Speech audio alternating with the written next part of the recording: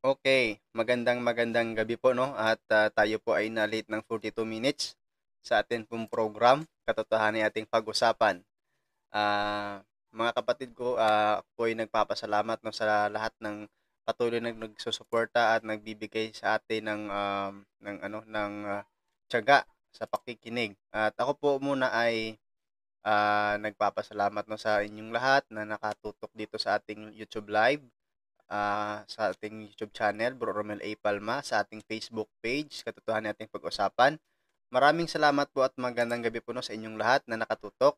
Ah, bago po tayo mag-umpisa, no, gusto ko pong ah, ibatiin sina Brother Vicmar ah, Solano ng Flock of the Divine Mercy, Brother Dwayne Cartuhano, Brother ah, Dennis Biaco, Brother Chris ah, Chris ah, Billones, at sa lahat ng member ng Flock of the Divine Mercy, lahat ng member ng Apologetics in Research Ministry of the Roman Catholic Church, magandang gabi po sa inyong lahat. At sa lahat po ng nasa Facebook at YouTube live natin ngayon, magandang gabi. At kasama po natin ngayong gabi, muli no, ang ating kapatid, Brother Dennis Uberio at Brother Ferdy Mark Gonzales. Brothers, ah, bumati muna tayo bago tayo mag-opening prayer, no? Tama.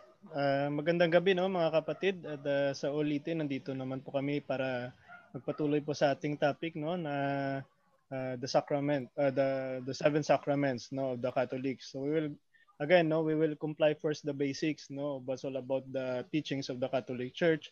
So sana po sa ating ah, panayam ngayong gabi sana po ay meron po kayong matutunan at sana po ay patuloy po kayong nakaantabay hanggang sa uli para po ay patuloy po tayong mag ah, makapag ah, ah, bigay ng aral sa ating mga kapatid lalo-lalo na sa mga nangangailangan talaga ng ah, katuruan no ng explanation rather ng ating simbahan. Sige, Brother Macmac. Okay, sa lahat-lahat po na nagnunood ng ating ah, sa atin na yung sa na yung gabi no. Ah, magandang gabi sa lahat. Ah, at maraming salamat po sa pagbigay naman po ng inyong oras sa amin sa pag ah, sa pagtuto niyo sa amin sa pag-aral at sa pag-gain ng knowledge and learnings ng ating ah, pag- ah, about sa ating ah, Catholic faith. Yan lang po. Ah, maraming salamat, no? Brother Dennis at Brother Ferdy Mark. Maganda ba yung pasok ng audio ko diyan sa inyo? Okay siya, okay. Okay, ah. Bago natin ah, umpisahan ito no, ah, manalangin muna tayo mga kapatid at iniimbitahan ko po no si Brother Ferdy Mark for the opening prayer naman po sa ating program, katotohanan ating pag-usapan, Brother Mark. Okay. So let us put ourselves in the presence of our Lord, in the name of the Father, and of the Son, and of the Holy Spirit. Amen. Our Father in heaven, holy be your name. Your kingdom come, your will be done, on earth as it is in heaven. Give us this day our daily bread, and forgive us our sins, as we forgive those who sin against us. And lead us not into temptation, but deliver us from evil. Amen. Amen. Hail Mary, full of grace, the Lord is with you. Blessed are you among women, and blessed is the fruit of your womb, Jesus. Holy Mary, Mother of God, pray for us sinners, now at the hour of our death. Amen. Glory be to the Father, and to the Son, and to the Holy Spirit. As it was in the beginning, is now, and ever, shall be world without end. Amen. In the name of the Father, the Son, and the Holy Spirit. Amen. Amen. Okay. Ah, maraming salamat no Brother Mark at magandang gabi no sa ating lahat ng nandito sa ating program na nakatutok.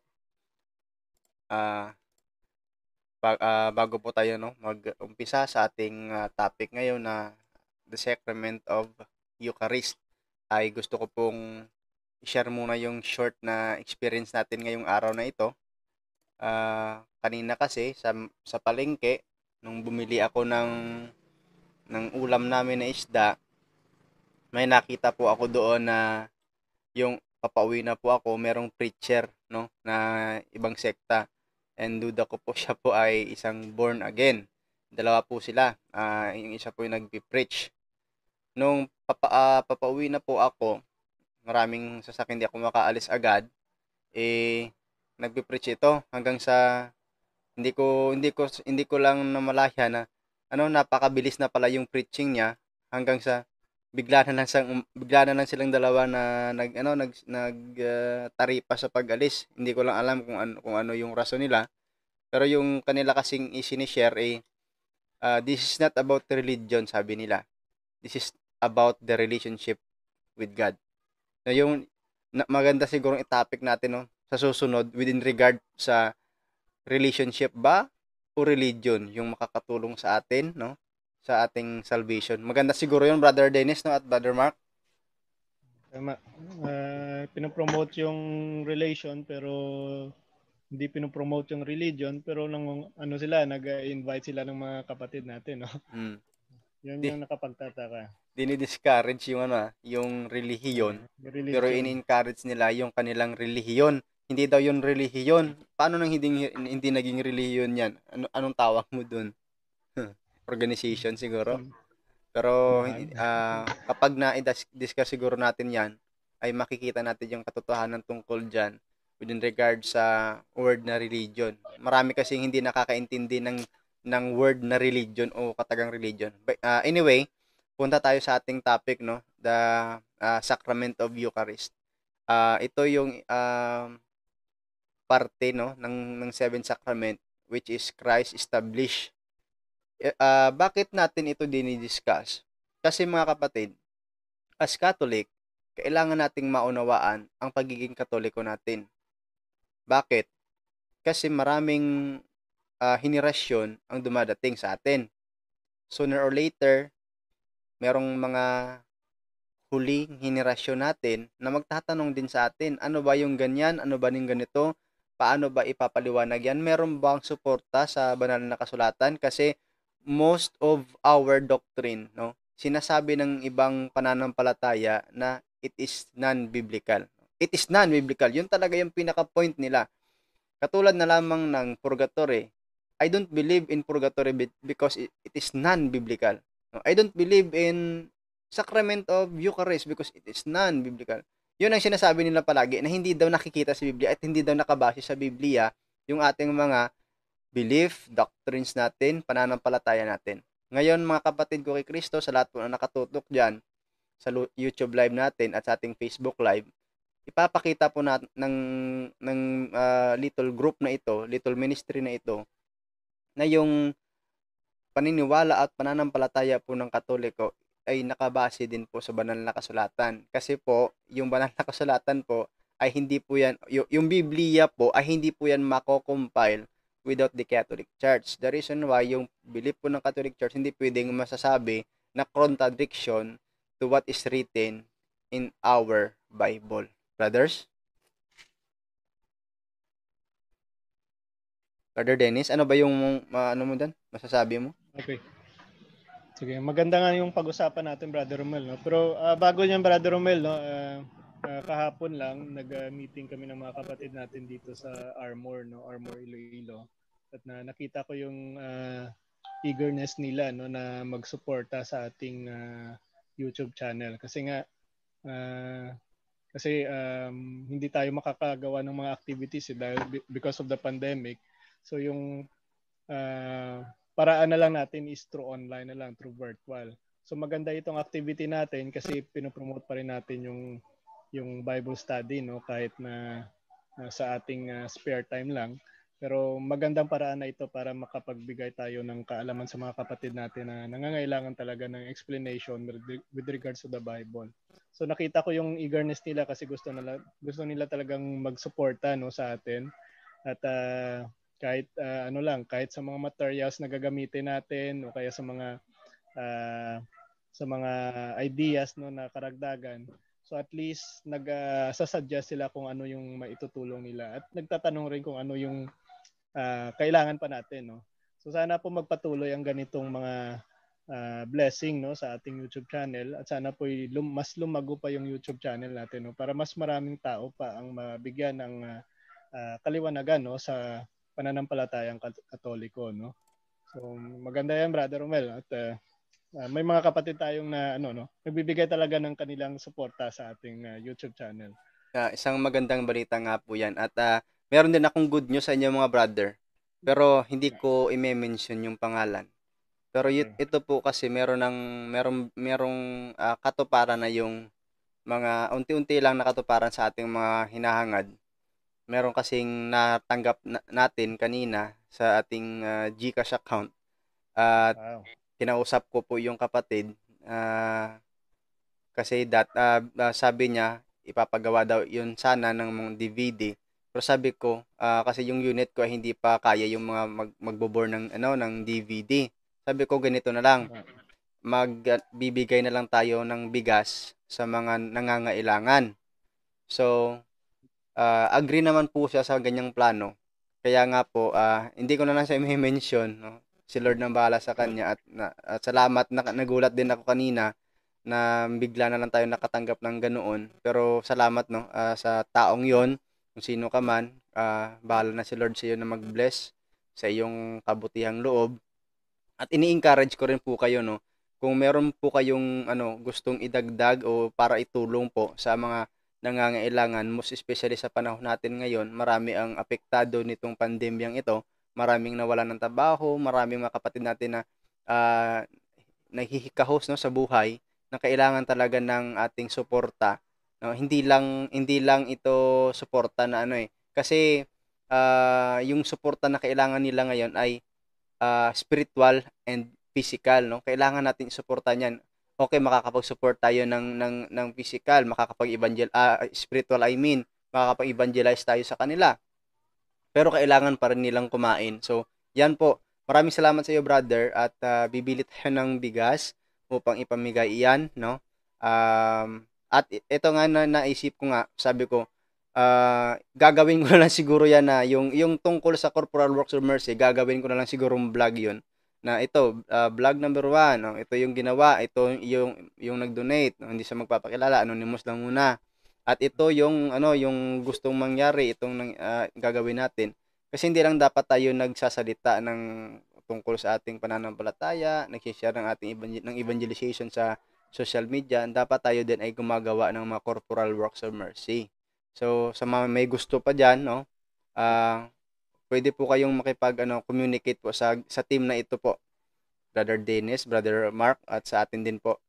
Uh, okay, Brother Dennis mga kapatid natin, no, matagal na nating ginagawa yung corporal works of mercy. So, uh, when we say corporal works of mercy, ito yung paraan natin para mapaabot ang tulong sa mga kapatid natin na nangangailangan sa paraan na pakakainin natin sila, magbigay tayo ng uh, inumin, no, ng shelter, uh, mag-visit sa mga uh, may mga karamdaman no sa lalo-lalo na sa mga kapatid natin na sa ano no sa kulungan. So yan yung ginagawa natin noon no nung wala pang pandemya. Pero ngayon I think uh, unti-unting uh, nasosolbar na ata no na, na nasosolve na yung problema natin when it comes to social distancing dahil inaalaw na rin yung mga ano eh inaalaw na rin tayong lumabas eh. Pero uh, susubukan natin no na na mapagpatuloy yung ginagawa nating pagtulong no sa mga kapatid natin. At uh, ila-live na lang natin ay ipo-post na rin natin siguro sa vlog mo Brother Romel para ma-inform yung mga kapatid natin na nag-donate no? Yes po yes po. Yan po yung gagawin natin. Kaya nga po sabi ko ang tungkol po sa Corporal Works of Mercy gagawin ko na lang siyang vlog no? Vlog number one ito uh, gagawin ko na lang siyang video na video vlog na ano na ano yan na sistema uh, para makita din ng ano ng ating mga kapatid. Ito na yung yung kanilang uh, kanilang uh, ano yun um, kindness na, na ginawa ay ginagawa din natin. Uh, tayo magpe-perform. Sila lang yung may, kung meron din tayo syempre bibigay din tayo. Pero uh, kung syempre for documentary po no uh, para makita po ng ating mga kapatid na meron talagang uh, pinupuntahan yung kanilang mga binibigay, no? Para maiwas tayo sa issue po. Tama. May mga nag-chat tayo dito sa may mga comment section dito, brother. May kanina pa daw sila naghihintay. ah, sino yan? Kayo, ah, kasi nag-live. No? Ah, sige, sige. Sige, brother. Uh, umpisa na natin ang talakayan tungkol sa Holy Eucharist o Sacrament no of Eucharist. Ano nga ba ito, brother Mark, no? Ang pag sinabi nating Sacrament of Eucharist, ano ba ang sinasabi no ng ating simbahan o ng banal na kasulatan tungkol sa sakramentong ito? Nakamute ka, Brother Mark. Okay, so para sa atin, no, ah, ang ibig sabihin ng Eucharist, ito po ay refers ah, to both the sacramental sacrifice and the permanent sacrament. So, ah, ito rin po yung ah, center of our Christian life din po, no, sa, para sa ating Katoliko. Kasi ah, every ah, every day, ah, ginagawa natin ito ah, o sineselebrate ito, no, at ito po uh, the most important actions of the church para sa atin mga Katoliko. So that's why po every day nagse-celebrate tayo ng uh, ng ating misa. Yun po, uh, brother. It, uh, it symbolizes actually no, the Catholic Church itself. Kasi nga, dito natin mapapatunayan na talagang ang presensya no, ng ating Panginoon, Panginoon no, sa ginaganap nating misa ay nan, ay talagang nagsisimbolize ng kanyang katawan at tugo. So isa 'yan sa mga paraan at uh, tinuro talaga no ng ating Panginoon no na alalahanin siya uh, through the Holy Eucharist. Okay? Yes. Uh, yes, um, na, tama po yan. No? Uh, Sacrament of Eucharist. Bakit sinasabi natin yung seven sacrament established ni Kristo? Kasi talaga naman na si Kristo yung nag-establish nito. Uh, kung pupuntahan natin yung banal na kasulatan, makikita natin kahit nga si San Pablo, no, kapatid, ay nagbigay ng klarong statement tungkol sa sakramentong ito. Babasahin natin yung uh, yung unang Korinto 11, simulan natin sa pagbabasa sa 23. Okay, una. Ano, 23. Okay, sige. Balik ka lang bro. Okay. Ito ang katuroang tinanggap ko sa Panginoon at ibinigay ko naman sa inyo. Okay, Noong sandali, sandali brother ah. siya'y- Sandali ah. Ah, klarong-klaro no, sabi ni San Pablo, ito ang katuroang tinanggap ko sa Panginoon. Tinanggap niya sa Panginoon. Ano ba yung tin- itinanggap niya at ibinigay sa atin? Patuloy, Brother Mark. Noong gabing siya'y ipagkanulo, ang Panginoong Hesus ay dumampot ng tinapay, Next. nagpasalamat at pinagpira-pirason iyon, at sinabi, Ito ang aking katawan na inihahandog para sa inyo. Gawin ninyo ito bilang pag-alala sa akin. Yun. Napaklaro, no? Gawin ninyo ito, ito bilang pag-alala sa akin. Ibig sabihin, ang sakramentong Eucharistia o yung pagtang sa yung pagtanggap natin no sa katawan at dugo ni Kristo ay talagang sabi niya gawin ninyo ito bilang pag-alaala sa akin. 'Yun ang sabi ni San Pablo no na tinanggap niya at ibinigay para sa atin. Meaning to say, hindi ito gawa-gawa lang ng simbahan natin, no? Nasab na, na, kasi meron nagsasabi na gawa-gawa lang yung sakramento ng ng Eucharistia, yung pagtatanggap ng katawan at dugo ni Kristo ng mga Katoliko. Mali po 'yon. Ayon po sa Biblia, yung pagtatanggap po sa katawan ni Kristo ay talagang ibinigay na niya po, no? Tinanggap ni San Pablo at ibinigay din ni San Pablo sa atin. Tapos,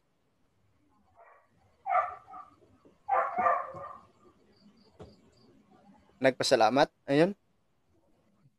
Sa 24. 24 bro. Yan, sabi niya, no, nagpasalamat at pinagpira-piraso iyon. Yung pagpapipira-piraso po ay, yan po yung sa atin pa, no, uh, o sa English na termino pa, ay breaking of the bread. Yung tayo na uh, nagsasamba o, o nakikiisa sa Eucharistia, sa pagpipira-piraso ay tatanggap?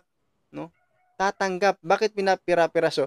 Kasi iisa lang talaga yung katawan ni Kristo, kaya pinagpipira-piraso upang tayong lahat ay makatanggap ng isang katawan, no? Sabi niya, ito ang aking katawan na inihahandog para sa inyo. Gawin ninyo ito bilang pag-alaala sa akin. At sa 25, Matapos maghapunan, dumampot din siya ng kopa at sinabi, Ang kupang ito ay ang bagong tipan ng Diyos na pinagtibay ng aking dugo. Huwing iinumin ninyo ito, gawin ninyo bilang pag-aalala sa akin. Yan. Body and blood of Jesus. Baka sabihin naman ng, kasi merong hindi naniniwala kasi si statement ni San Pablo, baka sabihin naman ng iba, hindi naman totoo yan, hindi naman kapanipaniwala si San Pablo. Okay, babasahin natin sa Ebanghelyo kung totoo nga ba yung sinasabi ni San Pablo tungkol sa mga sinabi niya sa pagpipira-piraso ng tinapay. Sa Lucas 22:14,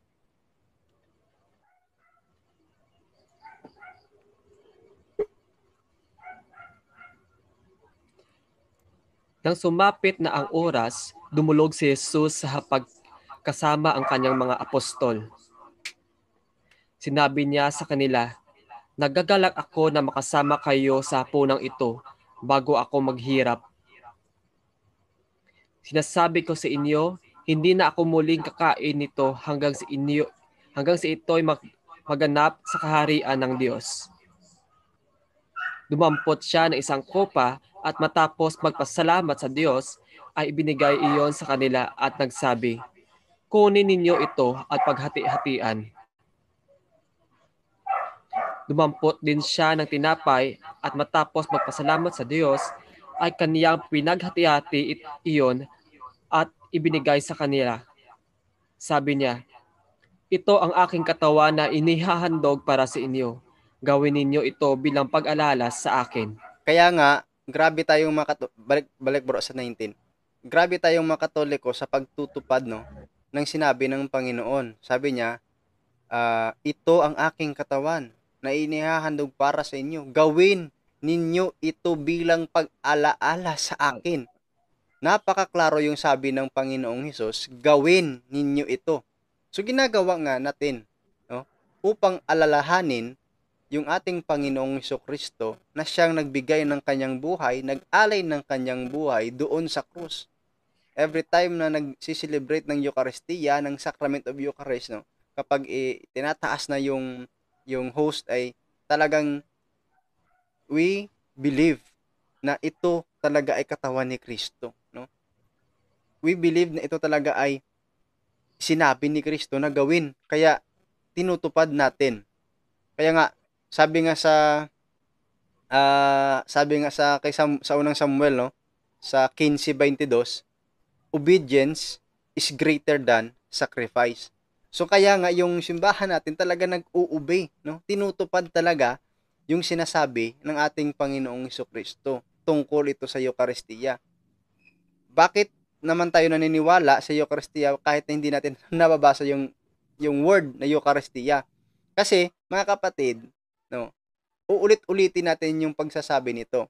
According sa mga scholar, Bible scholar, yung paghahanap mo ng word for word ay tinatawag yan na word concept fallacy. Kapag hindi mo nakita, hindi ka maniniwala dahil walang word na ganon. So maling-mali po yon. Ito pong Eucharistia ay pinapaliwanag namin ngayon. Ito po ay breaking of the bread na sinabi ng Panginoong Kristo noong hapunan at in- in-explain din po ni San Pablo na tinanggap niya ito at ibinigay din no sa atin. Brother Dennis.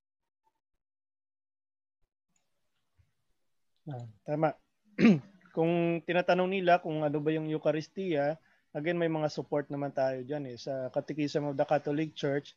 Uh, sinasabi nga dito sa 1322, 1323 and the 1409 no that the Eucharist no is the very sacrifice of the body and blood of the Lord Jesus no which he instituted no to perpetuate the sacrifice no of the cross no throughout the ages until his return in glory. So isa yan sa mga Pwede ba natin mapakita yan sa screen, Brad? Okay, sige.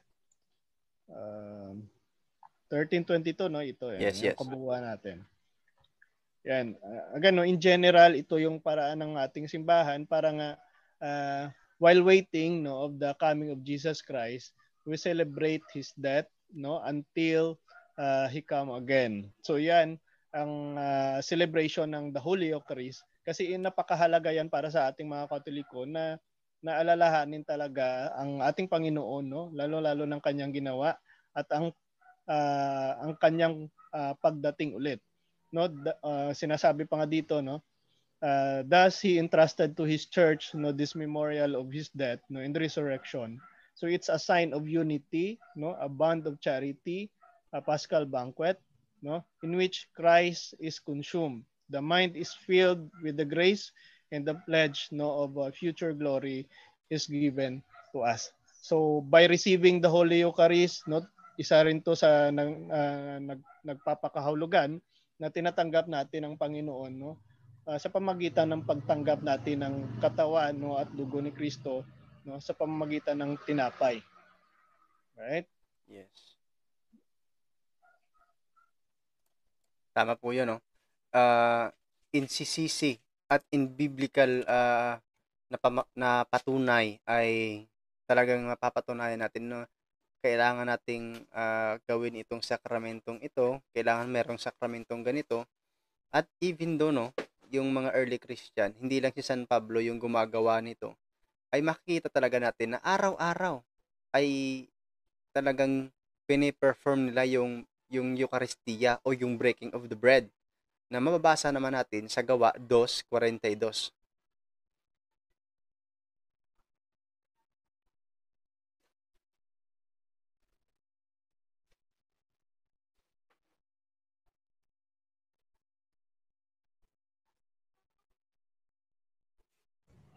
nanatili sila at itinuro ang ng mga apostol sa pagsasama-sama bilang magkakapatid sa pagpipirapiraso ng tinapay at sa pananalangin.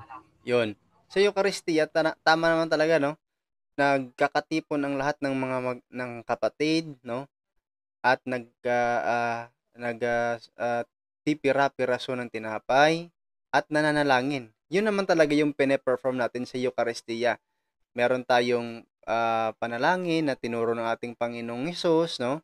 At uh, meron tayong ano, pagpipira-piraso uh, ng, ng tinapay. Kaya it is very clear na even early Christian, ginagawa nila ito hanggang mapasa hanggang ngayon ay ginagawa pa rin natin.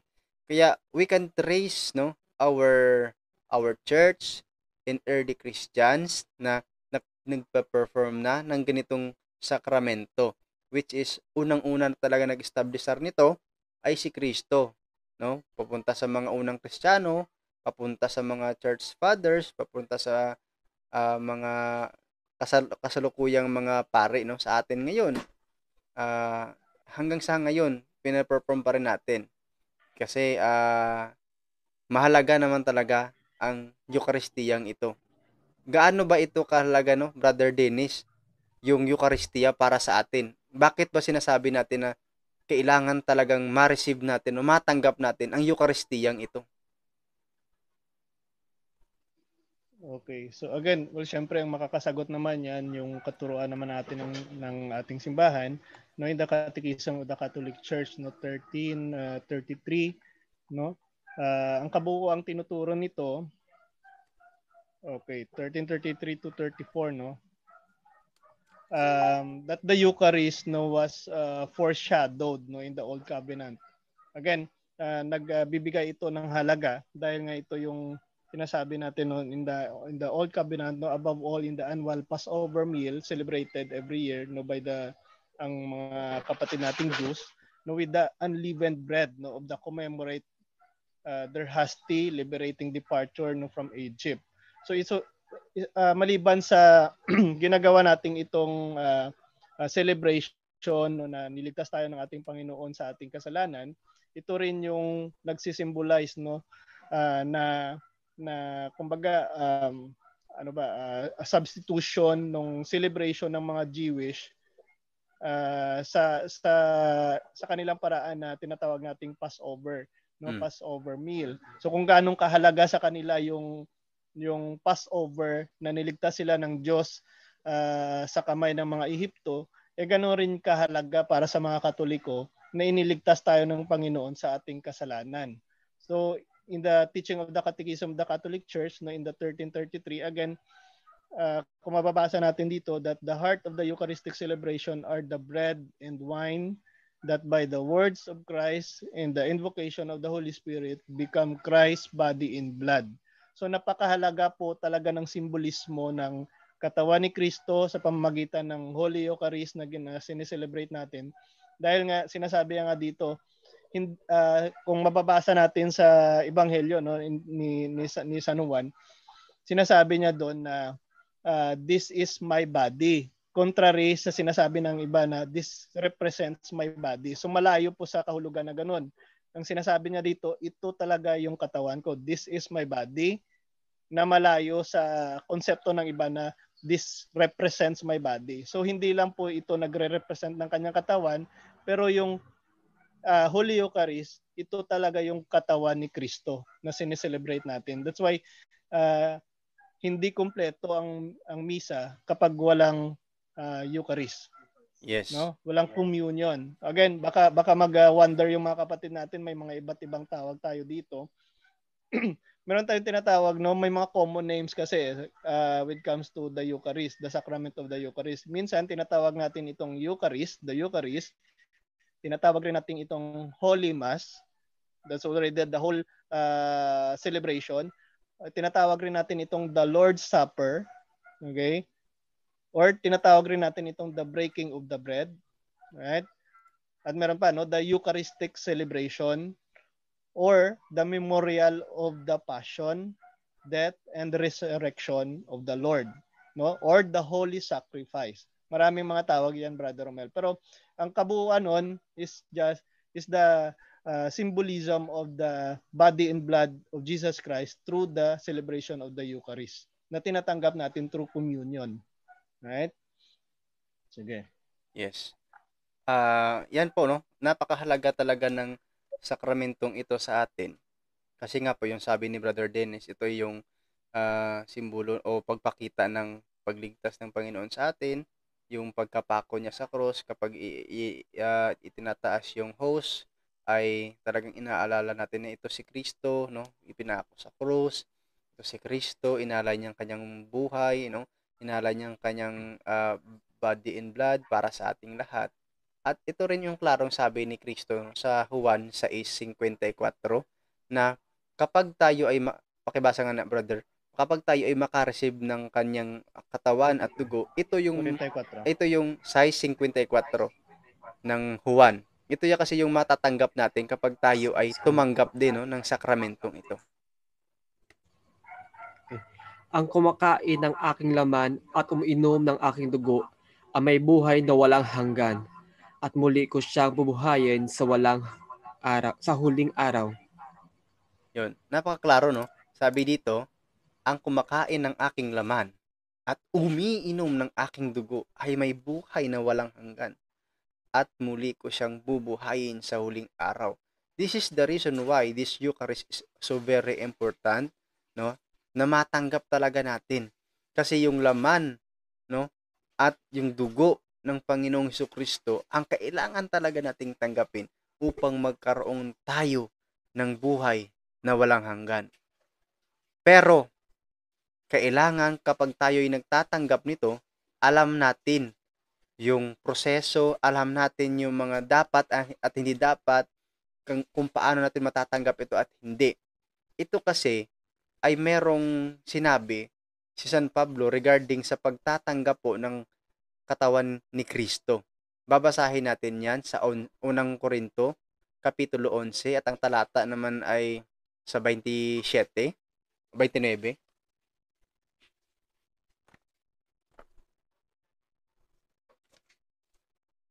Ayun, 27.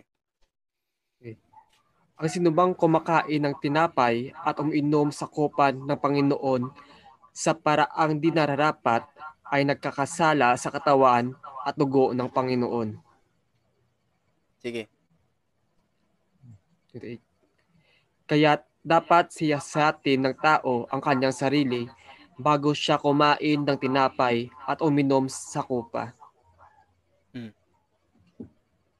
Sapagkat ang sinumang kumakain at umiinom ng hindi kinikilala ang kahalagahan ng katawan ng Panginoon ay kumakain at umiinom ng, kat- ng kahatulan laban sa kanyang sarili. Yun, no? Klarong-klaro po yun, sabi ni San Pablo, sapagkat ang sino mang kumakain at umiinom nang hindi kina- kinikilala ang kahalagahan ng katawan ng Panginoon ay kumakain at umiinom ng kahatulan laban sa kanyang sarili.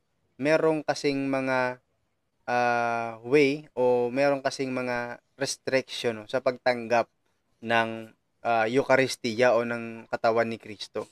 Ano ba itong mga restriction o yung pag yung mga hindi da- hindi tayo pwedeng makatanggap ng yung, yung, yung sacrament of uh, Eucharist, Brother Dennis? Ano ba yung mga hindi natin yung mga dapat nating maintindihan o maunawaan bago tayo tumanggap kasi sabi sa pakibalik nga ng verse 28 Brother Dennis.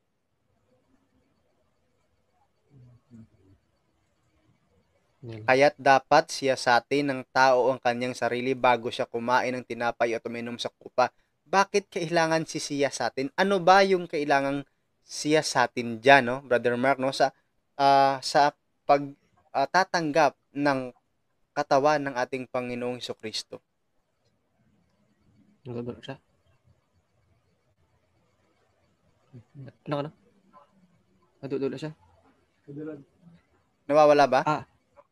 Oo, oh, nawala ka kasi, ah, brother eh. Oh, sige, sige. Kasi kapag tayo tumatanggap no ng katawan at dugo ni Kristo, ay hindi yan basta-basta na lang ah, kapag nagsimba tayo, tatanggap na tayo. Hindi hindi po ganoon. Ano ang rason bakit hindi tayo makadirektang tumanggap no kahit na nag- nagsimba naman tayo? Ano yung mga hindrances o mga restriction o yung mga ah, ano ba ton sagabal upang tayo ay makatanggap ng katawan at dugo ni Kristo?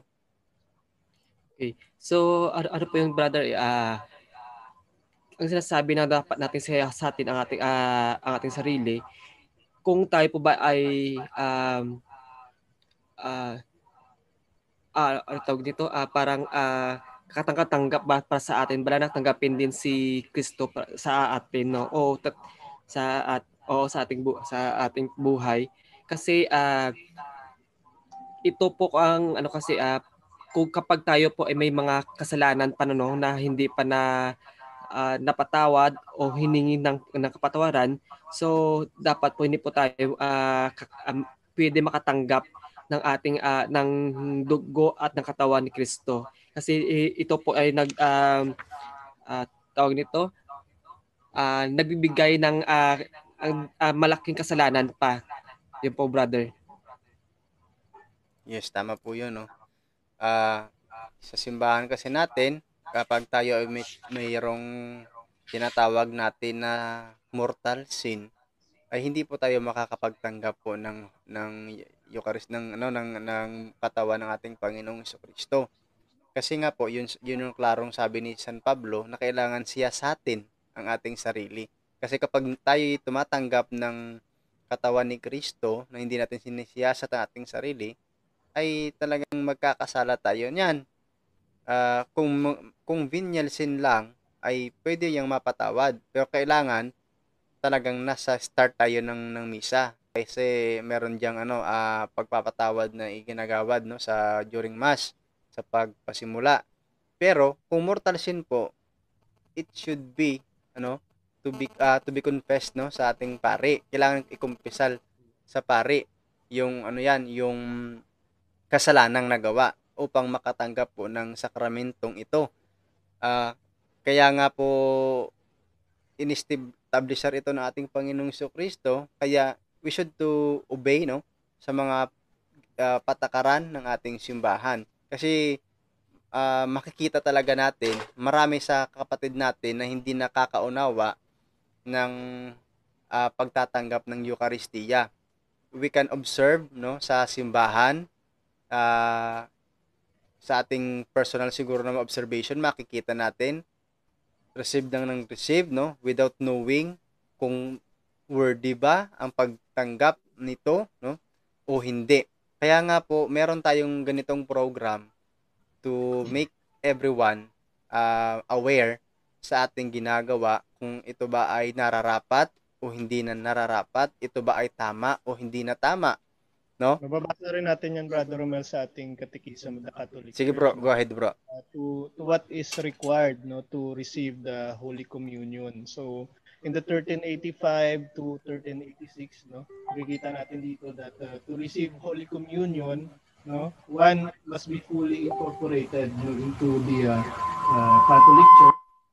No, in, in the state of grace, no. That is, no, not conscious of being in mortal sin. Yung sinasabi kanina ni Brother Romel at uh, sa 1 Corinthians 11, no, na dapat ay talagang sis, uh, siyasatin mo muna yung sarili mo kung may nagawa kang kasalanan. Kasi nga uh, divine uh, bread no yung tinatanggap mo. So hindi pwede na hindi rin divine yung tumanggap. So yung paraan natin no na dapat naka-confess ka muna bago ka mag-receive ng Holy Eucharist ayun talaga yung nararapat. Again no dito sinasabi sa Catechism of the Catholic Church that no uh, anyone who is conscious no of having committed a grave sin must first receive the sacrament of reconciliation. Yan. Uh, before going to communion. So also important for those receiving holy communion no are a spirit of reconciliation and prayer observance no of the the fast prescribed no by the church and an, an appropriate uh, disposition of the body no the gesture or dress a sign of the respect of Christ uh, maliban sa sinasabi natin na dapat uh, uh, katanggap uh, ano ba yan? Uh, katanggap-tanggap ka na mag uh, na tumanggap ng katawan ni Kristo ay dapat rin na na naka-properly attired ka rin brother Romel no?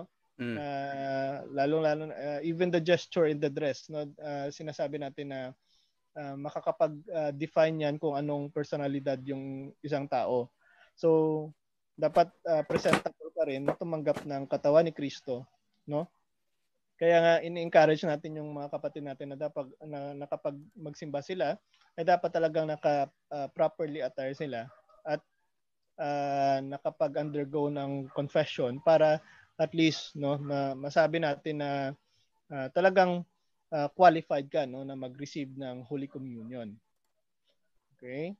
Yes, tama po 'yun no acknowledge natin no, si Brother Romel Tim Revilla. Sabi niya magandang gabi po sa inyong lahat dyan sa Pilipinas. Maraming salamat po sa pagpapaliwanag ninyo bro Romel Palma at sa inyong kasama diyan. God bless you all from Holy Land of Jerusalem. At sa lahat po no ng nakapasok na sa ating YouTube, kanina pa pala maraming mga message dito. Uh, magandang gabi po no at uh, maraming salamat sa pagsubaybay nyo sa amin. Tama po 'yun yung sinabi ni, ni Brother Dennis kanina no tungkol sa katikismo ng ating simbahan.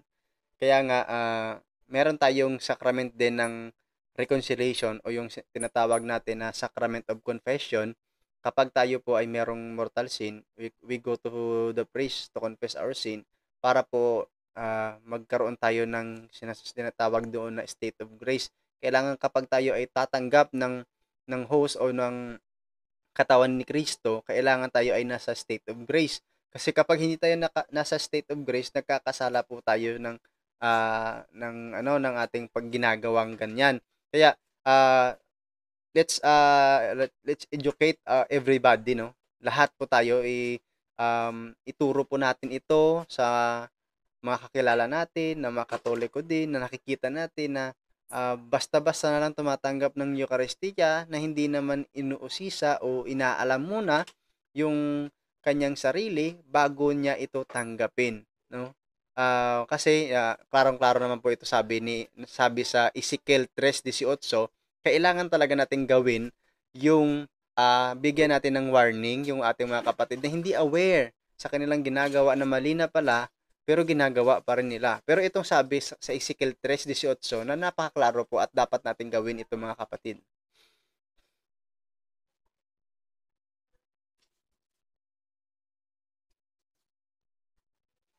Tres, ba, brother? Tres, 18.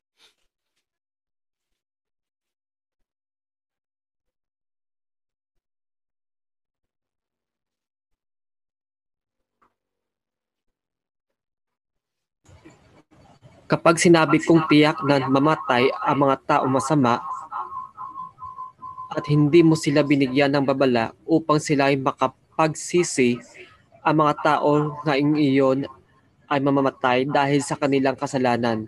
Ngunit pananagutan mo sa akin ang kanilang kamatayan. Yan. Kaya tama yung kanta na walang sino man ang nabubuhay para sa sarili lamang. Wala talaga. Tayong lahat ay may pananagutan sa isa't isa. Tamang-tama po yung lyrics ng kantang yan. Kaya kung meron tayong nakikitang kapatid na ganoon yung ginagawa, no, let's them inform para hindi tayo, no, maapektuhan, no, sa kanilang ginagawa kasi alam natin mo, alam natin na mali sila. Pero kapag tayo ay nagbigay ng warning sa 3.19 ng Ezekiel, ito yung mababasa natin. Subalit kapag binigyan mo sila ng babala at hindi sila nagsisi sa kanilang kasamaan, mamamatay nga sila dahil sa kanilang mga kasalanan. Ngunit hindi mo iyon pananagutan. Yon. Mag maano ka nun, ma-exempted ka na nun sa kanilang ginagawa na nakikita natin na mali, yun ay kung nabigyan natin sila ng warning. Kapatid, Brad, sis, mali yan. Ah, kapatid, Brad, sis, nakita ko kasi, no, ah, meron kang na, ano, ah, hindi mo sinusunod yung sinasabi ng simbahan. Kailangan talaga usisain ng bawat isa ang sarili. Kapag meron nagawang mortal sin, please, no, do not receive the sacrament of uh, uh, Eucharist o communion. Pwede tayong makipag uh, mayroon pa ring communion na ma, pwede natin gawin. Yun ang tinatawag natin na spiritual, no? Spiritual, Spiritual communion. Meron ka ba niyan, Brother Dennis, ng spiritual communion? Uh, Yung spiritual prayer or spiritual communion? Pwede natin ma-search dyan. Search lang sa kaka-internet. ipapakita natin paano ba ipinananalangin yung tinatawag natin na spiritual communion. Halimbawa, kunwari, no, ah may isang tao, ah mayroong isang tao, ah gusto niyang tumanggap ng, ng communion, pero meron siyang mortal sin. Kunwari, ano siya, nagli-live-in, pero talagang mahal yan yung Eucharistia. Makaka-receive ba siya ng communion? O hindi? Pero kung hindi man siya makapag-receive ng communion na ah yung ah, ano yun, yung consecrated ay meron tayong tinatawag na spiritual communion prayer. Ito, ito yung yung ipinagdadalangin ng mga merong mortal sin na gustong may desire sila na makatanggap ng katawan ni Kristo kahit na siyempre sa, sa panahon ngayon ma- mahirap yung mag-confess ka tayo ito yung gagawin natin kapag meron tayong mortal sin no brother brother uh, Dennis paki ano nga pakibasa nga yung spiritual communion Okay. My Jesus, I believe that you are present in the most holy sacrament. I love you above all things, and I desire to receive you into my soul. Since I cannot I cannot at this moment receive you sacramentally, come at least spiritually into my heart. I embrace you as if you were already there and unite myself wholly to you. Never permit me to be separated from you. Amen. yon napakaganda no never permit me to be separa- separated from you so yun po we are uh, in communion pa rin no sa celebration ng Eucharist kahit hindi natin natatanggap ito meron tayong spiritual pa rin ng pagtanggap nito. May desire kasi sa tagi- sa mga puso natin na gusto nating tumanggap. Kaya lang dahil sa sitwasyon no hindi tayo nakapag-confess. Pero no kung maaari let's confess our sin. Kung meron tayong mortal na mga kasalanan para tayo ay bumalik no sa state of grace and receive the sacrament of Eucharist or sacrament of communion. Brother? Okay, so nadagdag na lang siguro natin brother. Ano ba yung nagaganap kapag uh, nagse-celebrate tayo ng the Holy Eucharist, no? Kasi may mga uh, term na sinasabi rin ng mga kapareha natin na uh, transubstan uh, transubstantiation? So, Yes, para tama po hindi yan. tayo mag uh, para hindi rin tayo ma ano no ma-confuse. Again ma- makikita natin yan sa third, sa Catechism of the Catholic Church 17 uh, 76 no? To what is uh, transubstantiation. Uh, dito na. Okay. Again, no transubstantiation means that uh, change of the whole substance of bread no into the substance of the body of Christ no and the whole substance of wine into the substance of his blood. So this change no is brought about in the Eucharist prayer through the efficacy of the word of Christ and by the action of the Holy Spirit. However, no the outward characteristics of the bread and wine that is the Eucharistic species remain unaltered. So yung sinasabi natin na transubstantiation ay uh, yun na yung uh, itinataas ng pari no na at pinapanalangin uh, at uh, um, na, na yung tinapay at wine no na na kanyang itinataas ay magiging katawan at uh, dugo ni mismo ni Kristo. Kaya hindi pwede na kumain na hindi natin matatawag na Eucharist yung tinanggap natin na tinapay kapag hindi pa ito dumaan ng uh, mass celebration no or hmm. the holy mass. Kasi hindi complete yung kumbaga ang ritual no na ginagawa natin kapag uh, wala walang presensya mismo ng celebration ng holy mass. So yung pagtanggap natin ng the Holy Communion ay talagang matatanggap lang naman matatanggap lang natin sa pagse-celebrate natin or pag-attend natin ng misa. So doon lang natin matatanggap yung katawan talaga at dugo ni Kristo. Okay. Yes. Uh, ayun nga, no? ayun nga kay pusong dalisay, no? Sinasabi nga, ito yung hindi pwede ma masira ng mga ibang sekta, no? Yung celebration natin ng the Holy Eucharist maliban sa kita uh, tayo lang yung nagse-celebrate ng the Holy Eucharist ay sila, ay sila mismo ay hindi talaga nag uh, nag uh, bibigay importance no or nagbibigay importansya sa katawan at tugon ni Kristo no na itinuro ni Kristo na paraan para siya ay alalahanin. Yes, tama po 'yun. Napakaganda kasi yung tra- yung yung transubstantiation na 'yan no na talaga naman kapag uh, we receive the sacrament of uh, Eucharist nung katawan na, ni Kristo ay hindi talaga natin iniisip ito na ito ay tinapay lang na ordinaryo. Ito ay talagang totoong katawan ni Kristo na siyang tinatanggap natin. Siyempre sa pagtatanggap natin ng katawan ni Kristo, tinatanggap nat- natin yung fully and fully si Kristo. Kaya kapag nagtatanggap tayo kay Kristo mga kapatid, tandaan natin, huwag tayong maging uh, yung yung nag, nag nag-iisip tayo na kapag na kay Kristo tayo, ang buhay natin ay wala nang kapighatian, no? Wala nang wala, wala, wala nang hirap. Lahat po tayo ay may kahirapan, may kapighatian na haharapin. Pero nakikiisa po tayo kay Kristo. Katulad po ng ginawa ng unang mga Kristiyano, araw-araw po nilang tinatanggap si Kristo sa kanilang buhay. Sa 2 Corintios kay kanina na binasa natin araw-araw po. At alam po natin kung binabasa po natin yung Biblia ay pinersecute po talaga sila. Yo.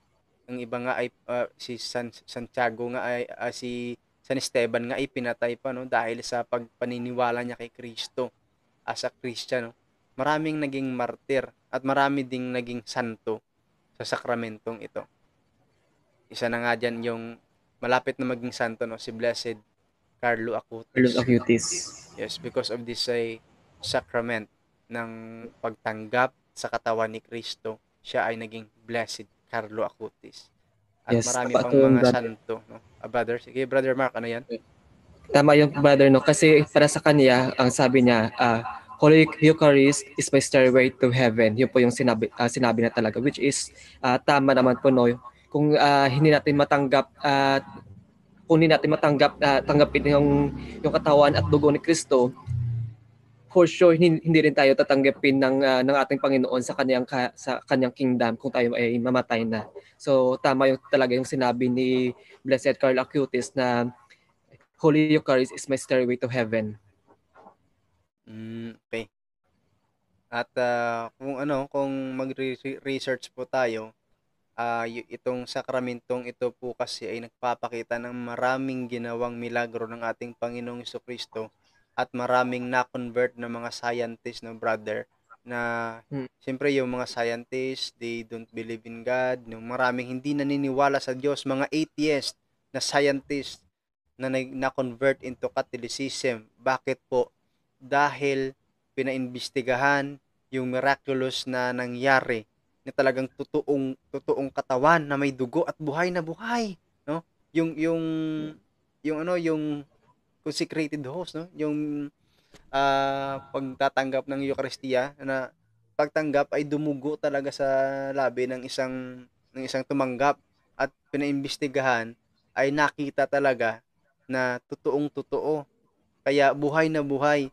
Kaya nga yung pagtatanggap talaga natin ng, ng Eucharistia during Holy Mass ay ito talaga itinatanggap natin si Kristo. Ito talaga katawan talaga ni Kristo at marami talagang nagbago ang buhay na convert into Catholicism ng dahil po sa milagrong yan, ng dahil po sa sakramentong ito. Brothers?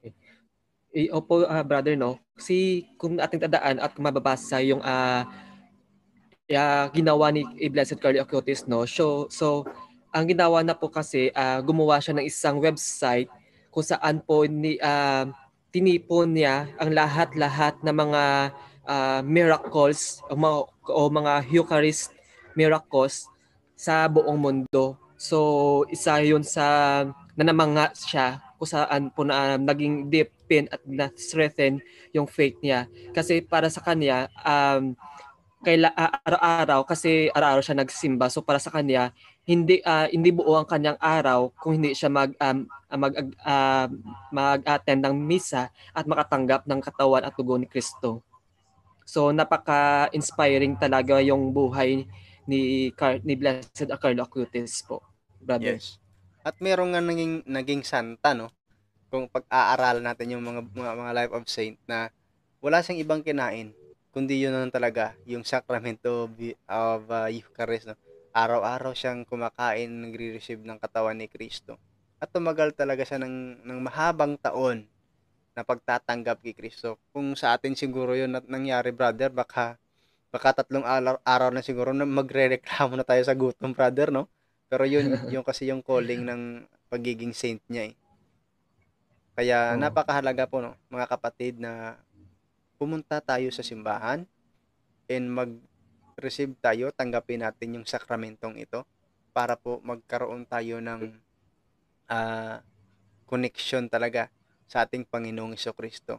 Hindi katulad ng naririnig natin palagi na religion is not needed. You you need all, only rela- ah, relationship to God. Relations. Paano tayo magkakaroon ng rela- relationship to God kung hindi natin siya tinatanggap sa sakramento ng Eucharistia? Ang totoong relasyon sa Diyos ay ang pagtanggap ng sakramentong ito, sakramentong Eucharistia. Okay, tama yung brother, no? So may dagdag na ako about sa ah, transubstantiation, no, brother, no? Sige bro. So, ah, regarding sa ano kung ating titingnan din sa sa Biblia sa Mark chapter 14 verse ah, 14 ah, 22 to 25 ah, bro, hindi ko bro. 14 22 to 25. Okay. Ito po yung ano ang ah, o kumbaga yung last supper habang kumakain sila si Jesus ay dumampot ng tinapay at nagpasalamat sa Diyos. Pagkatapos kanyang pinaghati-hati ang tinapay at inaabot sa mga alagad, sinabi niya, kunin ninyo ito, ito ang aking katawan. So, ito po yung ah, ano ya pag ah, pag ah, ano pag at um, pag-exchange ng ah, tinapay into his body kasi sinabi ni sinabi na ah, dito sa 22 kunin ninyo ito ito ang aking katawan hindi na sinabi kunin nito ito ang tinapay kundi sinabi niya na ito ang ang aking katawan Uh, so therefore, yung tinapay na pinaghati-hatian niya, nag-transform na yon into his body. So uh, chap- uh, next chapter bro. Okay. Dumampo din siya ng kopa at matapos magpasalamat sa Diyos, ay iniabot din niya iyon sa mga alagad at uminom silang lahat. Okay. Sinabi niya, ito ang aking dugo pinagpagtibay nito ang tipan ng Diyos. Ang aking dugo ay mabubuhos para sa marami. So itong so, sa sinabi na dito no, yung uh, wine nag-turn into uh, into his blood. So ito yung sinabi na ito ang aking dugo. Uh, again, sinabi na is aking dugo. Hindi na sinabi na itong uh, ang bino. So so yung wine o yung bino nag-change o nag-transform into his true blood talaga. So para sa atin talaga uh, mga Katoliko no. So during the um ano tawag nito sa atin sa misa ba uh, sinasabi na uh, during the mass uh, uh, during the communion no kung saan po na uh, sa mga breaking of bread of the bread uh, oh, breaking of the bread kung saan po na binibreaks yung uh, o yung mga symbols of unity para sa atin no uh, so para ma-share na uh, para ang yung significance nito no yung kung bakit tayo nagbe-break of the bread kasi uh, it symbolize of unity natin sa sa kanya okay yun po brother Yes. No, tama po 'yun. Ah, um, may dagdag ka pa ba, Brother Dennis, no, sa pagpapaliwanag tungkol sa sakramento ng Eucharistia? Okay. Uh, well, of course, sa gospel rin, no, sinabi rin na uh, why, why we do breaking of the bread.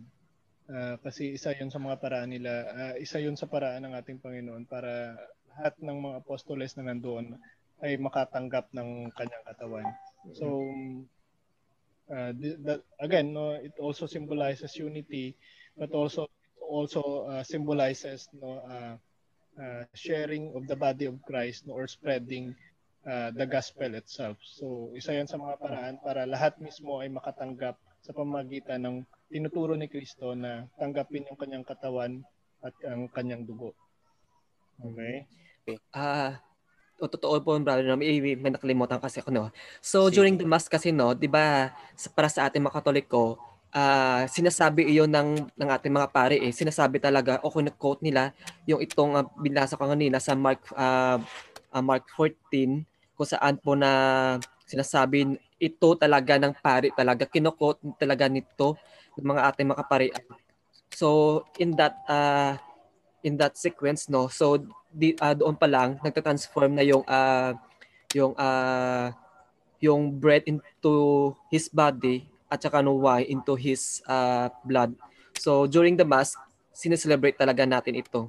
At at sinasabi din sa Biblia kanina na para alalahanin ang ginawa ni Kristo para sa atin na dapat tayo mag-unite sa Kanya. Okay. Yun po, brother. Yun, ah, maraming salamat. no. At napaka napakaganda ng ano ng ating topic ngayon, Sacrament of Eucharist. May naalala po kasi ako na um, teaching ng kaibayo sa pananampalataya. Paano natin sasagutin ito, brother? Yung tanong na uh, na yung yung statement na yung salit yung breaking of the bread ay hindi daw yun yung ginagawa natin na, na tinapa yung bini, yung pinagpipira-pira. So, kasi po, babasahin natin yung Mateo 4.4. Sige.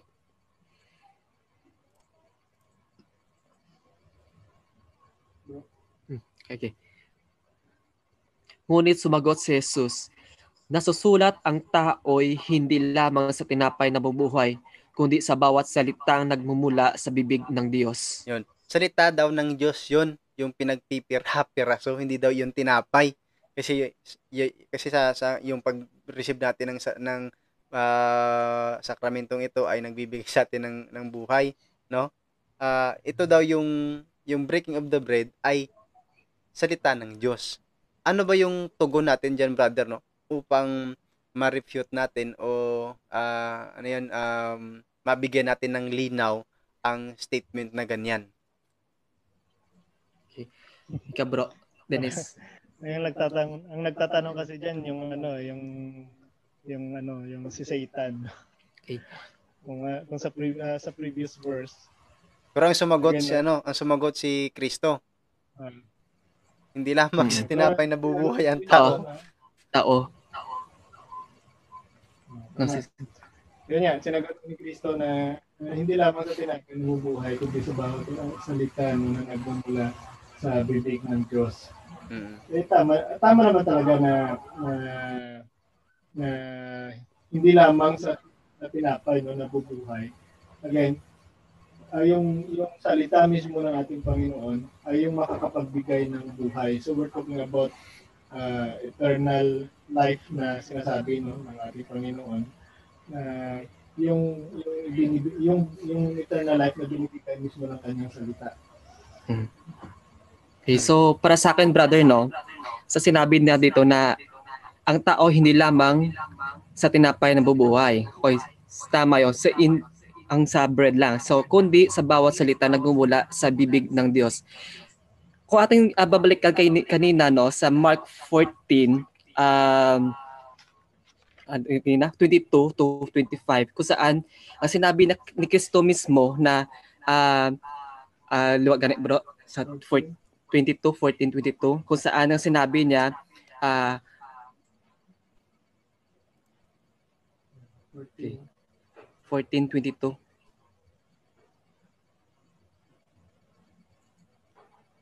Okay. Okay. Sa uh, 14. Okay.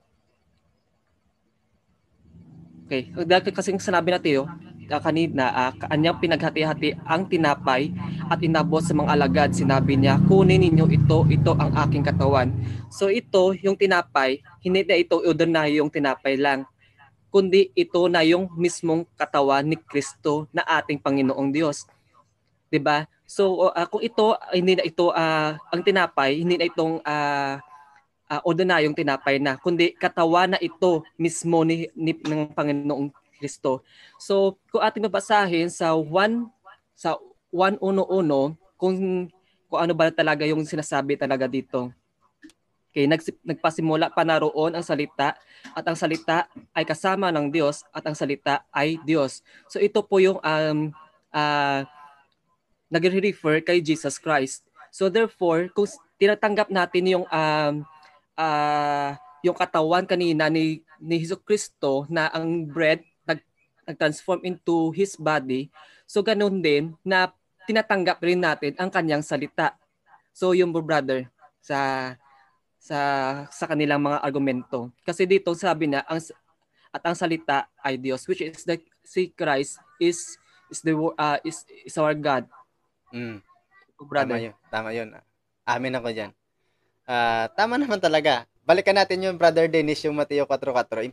Ipapakita lang ko diyan sa talatang yan na talagang totoo yung nakasulat sa Mateo 4.4. At totoo din na yung tinapay na sinabi ni Kristo ay talagang tinapay yon na nagtatransfigure sa kanyang talagang katawan. Ito, ngunit sumagot si Jesus na susulat, ang tao'y hindi lamang nabubuhay, uh, hindi lamang si tinapay nabubuhay, kundi sa bawat salita na nagmumula sa, sa bibig ng Diyos.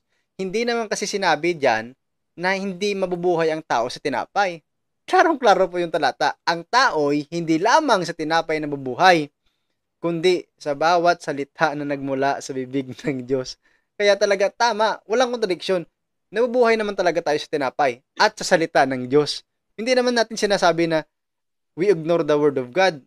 Kasi nga, yung salita ng Diyos ay si Kristo din yon At yung tinatanggap natin sa Eucharistia ay si Kristo din yon Kristo din yon Yes. Yes, brother. Tama po. Ang ang nagkamali lang ay yung pagkaunawa at yung tanong ng ating mga iba, kaibayo sa pananampalataya. Kaya na, na napakaklaro po. Tama yung talata, tama yung ginagawa natin sa Eucharistia, mali lang ay yung pagkakaunawa. Yun po. At at kung ating ano brother no, kung sila uh, nag-attend ng ating misa, so baf- before uh, bago tayo mag uh, but, uh, uh, tanggapin yung katawan at yung uh, dugo ni Kristo, eh may meron tayong liturgy of the word. Mm. 'Di ba, brother? So yes. kung kanila talaga uh, uh, kung sila talaga nag uh, nag-attend ng ating misa, so malalaman talaga nila kung ano yung talaga yung mga uh, uh, mga sequence o mga uh, uh, organization uh, of the mass nato kung ano talaga yung uh, pamalakad o yung sequence ng ating misa. So doon pa lang um, ma makikita na talaga na sal um, sala umali yung kanilang uh, ang kanilang uh, pag-intindi ng uh, ng bersikulo na ito. Mm. Baka may mga katanungan diyan Brother Dennis at Brother Mark sa ating Facebook. Hindi ko kasi nakikita yung Facebook natin o sa kan sa YouTube kaya. Susa. Okay na lang. Sabi dito ni Sports GTV, mahilig sa chap-chap ang sulpot, minsan kulang, minsan sobra. Yun nga sabi ni Brother Wendell, yung naghahamon sa kanya na si, sino yon Yung INC. Ah, Ah. Hindi daw yun haharap sa debate, haharap daw yun sa cooking show. Bakit cooking show? Kasi mahilig sa chap-chap. Magcha-chap-chap lang ng mga, ano, ng mga reference. Si Michael Sandoval pala yun. Kita mo bro. Eh, pa sa Facebook na lang. Sabi pa ni ano ni Janice ah, Birigay, naghahanap lang kasi ng butas, Bro Romel eh. Napapansin masyado mga sulpot. Naghahanap ng butas kaya ah, kung ano-ano lang yung nakikita nila sa atin. Pero sa doktrina natin walang mali. Yung mali po ay yung kanilang pagkakaunawa at yung palagi nilang na, tinitingnan sa atin ay yung mga ah, moral issues ng simbahan na merong ganito ganon na hindi naman ano yan, hindi naman basihan upang hindi na maging totoong simbahan. Kasi nga po, kahit sa 12 apostle, merong isang traidor, merong isang Judas. At kahit na nang naglumago yung Kristyanismo, meron pa ring mga tao na bulaan, no? Katulad ng sinasabi ni San Pablo. Babasahin natin ito, brother, no? Sa ikalawang Korinto, kapitulo 11, sa 4 hanggang 6.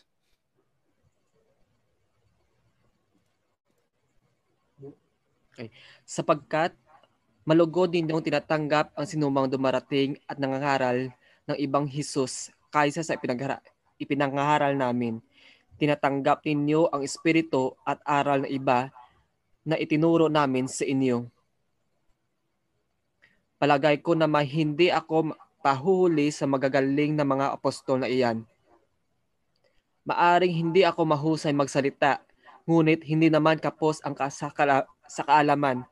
Pinatunayan ko ito sa inyo sa lahat ng pagkakataon. Yun.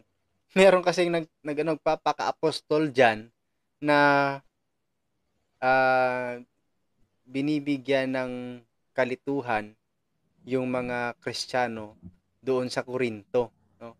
Kaya, kahit sa panahon natin ngayon, meron ding nang, nangyayaring ganyan. No? Huwag tayong malito mga kapatid.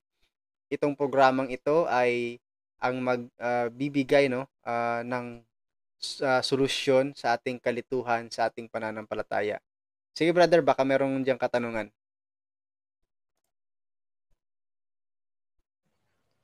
Dito sa Facebook, brother, so far wala pa man ah, wala, wala wala pa naman ang ng mga katanungan dito.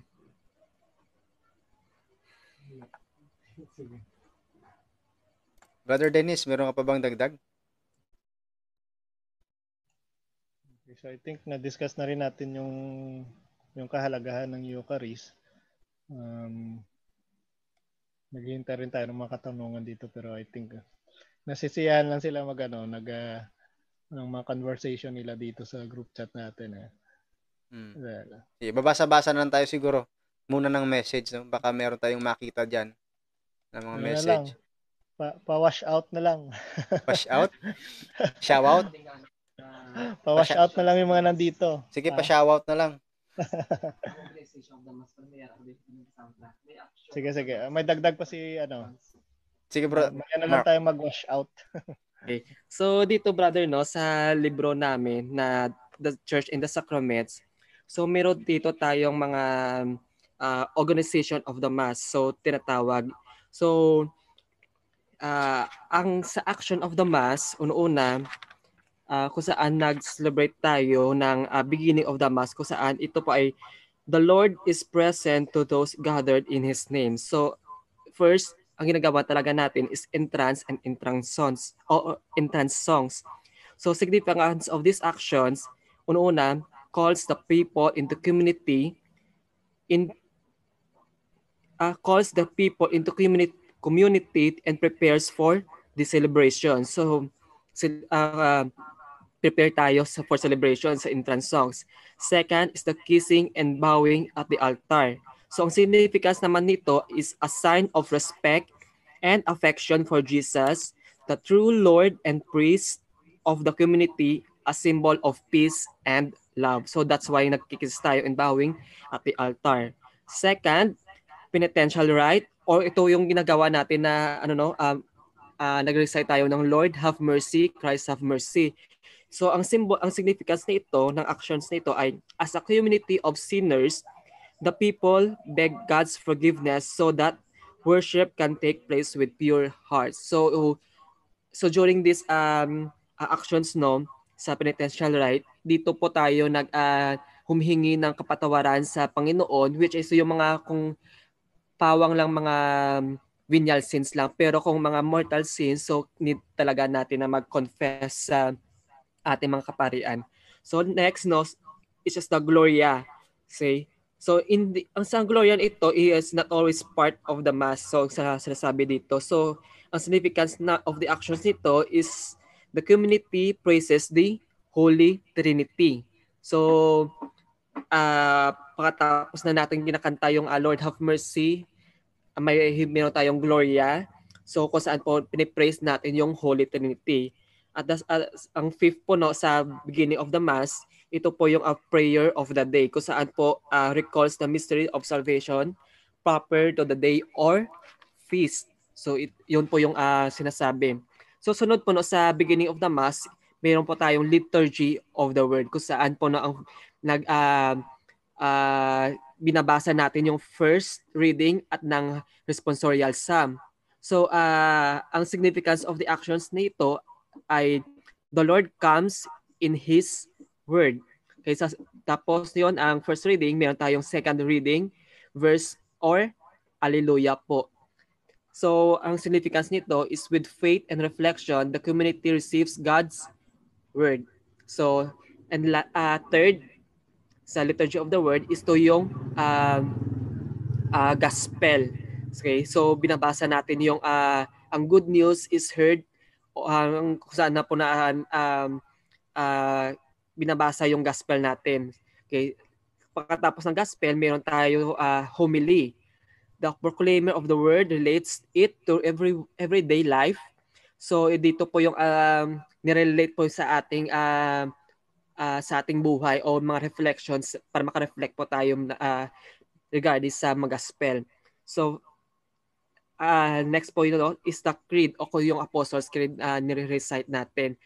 So ang six ito yung eh, intercession. So 5 and 6, ang kanilang uh, significance is the community assents to the word by proclaiming its faith and asking for God's blessings and the salvation of the world. Okay. So pagkatapos ng uh, liturgy of the word, may part 1 na liturgy of the Eucharist. So sa liturgy of the uh, uh, Eucharist na part 1, ito po yung preparing the gifts silang sinasabi. So first is the procession of the gifts o uh, ang symbol nito ay uh, of the a symbol of the community's willingness to give of itself. Ito po yung para sa atin na of, uh, offertory. So presentation of the gifts at the altar. Ang symbol uh, sim, ang symbolize po nito na these gifts are the symbol of God's gift and are the result of human labor. So next, uh, third sa part 1 ng Liturgy of the Eucharist is the private prayer of the priest and washing the hands. So ang nagsisymbolize nito o ang significance nito is humility and purity are required for self-giving so that the gifts of bread and wine may become Christ's body and blood.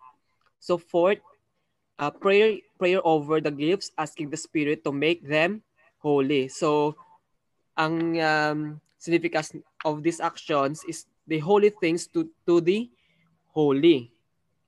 So sa part 2 ng uh, Liturgy of the Eucharist, kung saan po si Jesus Christ is sacramentally present in the form of bread and wine. Ito po yung sinasabi na Eucharistic prayer. So uh, may dialogue of the preface and uh, ito pong holy holy pa kung kinakanta natin. Uh, holy holy. Basta, basta ganun eh. Okay, so uh, ang significance niyo na yon ng actions na yon is praises God as creator and Lord of history. So next po no, uh, invocation of the Holy Spirit. Okay, acknowledgement the power of the Spirit. So account of institution, ang significance nito is remembers and makes present Christ's sacrifice of His body and blood. Sa 8 po is remembering in prayer of offering. Christ takes the church into His once and for all sacrifice. So sa 9, union with the Holy Spirit. So sinasabi dito na Christ give Himself through the power of the Holy Spirit in the sacred meal. Okay. So 10, intercession. The community prays for the salvation of all, both living and dead. Next po no, sa concluding doxology, concludes in thanksgiving with praise to the Trinity. So next po yung is meron tayo ditong uh, communion kung saan po um, ginagawa natin yung unang pray tayo ng Our Father kung saan po nag tag-aas tayo for daily bread and forgiveness. Okay, next is the prayer for peace. So kung saan po na uh, desire love and peace of Christ. Kung saan po tayo nag uh, uh, nag uh, nag-gesture ng peace be with you. Ayun po. So, uh, kung saan po pang uh, ulo natin parang ulo ng uh, ng na parang ulo ng tawag nito ng ng aso sa sa, sa, sa lakin na, na tumatangon oh, lang. Tango-tangon lang. No? So next po no, uh, okay. So next po no, uh, breaking of the bread. Kung saan po ang, ang significance of this action is break uh, breaks one bread a symbol of unity so all may share in same body. Next po, no, a reception of communion. Food of ang significance nito is food of salvation. We become one in the Lord so that we can be one in loving others. So next po no sa sa liturgy of the Eucharist, sa communion, is concluding prayer kung saan po uh, petition uh, significance nito is petition the Lord that union with Him will bear fruit in daily life. At ang last po ng part ng, ng ating misa is the conclusions kung saan po ang unang-una po yung final blessings ng ating ng uh, ng ating pare no kung saan po the blessing to celebrate our participation and lastly is the dismissal so kung saan po um, uh, sinasabi dito na go and live the Eucharist. So para sa atin no, sa mga uh, kasi minsan sa atin mga mga kapatid, minsan po may may makikita po tayo na pagkatapos nila pag-take ng Holy Eucharist, eh, lumalabas agad sila ng uh, ng ng simbahan at uh, umuwi na agad o may pinuput uh, basta lumalabas na agad agad sila sa simbahan which is uh, hindi pa talaga agad talaga yun uh, a final blessing. So that's why po sa mga kapatid natin na unang lumalabas pagkatapos ng uh, uh, pag uh, ng uh, pagka-take ng Holy Eucharist o ng nagkommunyon eh sana po hintayin natin yung uh, dismissal kasi po hindi magiging kumpleto yung ating uh, ang ating uh, pagsimba kung wala po yung uh, final blessings at ng dismissal ng ating ng ating uh, kaparian. Kasi kasama dito no, sa dismissal, sinasabi yung significance na dito is go and live the Eucharist. So kung wala po ito yung uh, Eucharist, so ibig sabihin po, um, mahirapan tayo na uh, na i, isabuhay yung mga turo ng ating Panginoon. So that's uh, sana po uh, sa mga kapatid natin no na na na lumalabas ng una sa ating simbahan sana po tapusin natin yung uh, yung uh, ating final blessings at ng dismissal ng ating mga kapa- ng ating mga pari po. So yun po brother. Okay. Maraming salamat no sa napakagandang uh, pag parang ano eh uh, sinamarize mo na yung nangyayari sa Holy Mass na brother. Uh, Holy Mass. Sana maging pare ka po. Ayun nga, pa- pare na nga to, brother. Hindi na. uh, may, may tanong, may tanong dito si ano, si Placido Estrada. May, I think sa kay Brother Macmac to eh. Father, may tanong pa ako. Mm. Ang tree of knowledge of good and evil and tree of life ay magkatabi pa rin ba hanggang sa ngayon? ang na, okay. Yan yung tanong niya, yung tree of life at saka tree of knowledge. Magkatabi pa hanggang ngayon. Saan siya nagtanong, bro? Sa YouTube. Sa YouTube. Ah, kasi may, may, may dugtong kasi yan eh. Sino may dugtong kasi yan dito sa ila, sa ibaba, sabi niya, uh, last mention ni God after the fall in Adam, ni Adam and Eve ay ang tree of Ah. life, katabi ng tree of knowledge of good and evil. Kaya pala si Jesus hanging on the cross sim- symbolize question mark. Itong sagot, sagot ni Pusong Dalisay. Para sa akin lang, ang crucifixion is the sim the, the symbol of salvation. Symbol of Sinabi salvation. ni Jesus na like bronze snake whoever whoever looks at the cross will be saved. Yun po. Tama naman. Hmm. Bigyan pansin natin yung ano. Ah, sige bro. Well, ang ang symbolism naman talaga na na inilagay si Kristo sa krus ay ay para iligtas tayo sa ating kasalanan. Mm. Yun yung hanging of, on the cross, no? Mm. But then, Mm. kung bakit natin siya itinataas, ay para alalahanin yung ginawa niya na, na iniligtas tayo sa ating kasalanan. Yes. No, salvation na yun. Yun, ah Okay. bigyan pansin natin yung atong yung mga comment dito sa ating YouTube. Sabi ni DG Jai, Jai, two accounts ah, ah, gagamitin ko sa live ni Bro Romel. Nag, nalito ang isip ko dito eh. Na- na- Nalito ako pero sin sinagot ni Jan Alviar yung Bro DJ Modern Nights. Yung isa Sports GTV Ninja Moves. Si Sports GTV pala ito, at itong DJJ, isa lang pala. Uh, na na-clarify ako yan. Salamat Brother Jan Alviar sa iyong clarification. At bigyan pansin din natin yung sabi ni Bro Romel Tim Revilla. This is uh, related sa ating topic ngayon na Sacrament of Eucharist. Sabi ni Bro Romel Tim Revilla, masarap ang pakiramdam na sa pagtanggap ng body and blood of Christ na wala tayong daladala na mga kasalanan. Na-reconcile talaga sa pamamagitan ng confess- confession. Yun yung sabi ni Brother Romel Tim Revilla. May Napakaganda. ano rin dito, may tanong rin si ano, uh, may tanong ba to or comment? Si Sister Janice uh, Brigay, sabi yan, sa Sulpot version, sasabihin na bakit walang wine at bread lang daw. Oh. Mm. Kasi nga sa ating uh, ebanghelyo sinasabi doon na bread and uh, wine, no? Uh, uh, bread or the body and blood. So, yung may bread talaga at saka wine. Pero sa ating mass, ginagawa natin na ano lang yun, yung bread lang yung binibigay natin. Oh, na, na-violate ba natin yung celebration na itinuro ni Kristo na bread and wine? Kasi nga binibigay lang natin ay anong sagot natin yun, Brother Romel?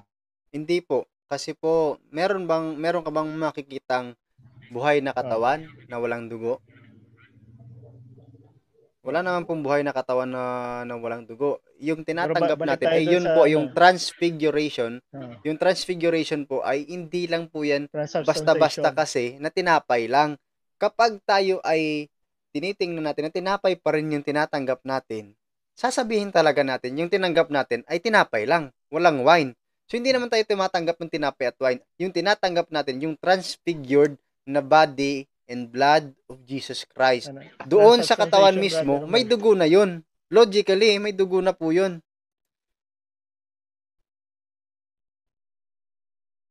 Ah, sa ano, sa concept ng transubstantiation. Uh, yung substance, yung nag-change na yung substance into body, uh, into the, the body and blood.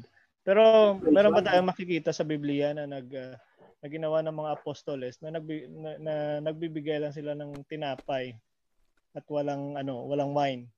Eto bro, basahin natin muli baka hindi naintindihan no. Yung gawa 2.42. Iintindihin natin ito kasi kapag hindi natin maintindihan ito, baka ma-misinterpret na lang natin.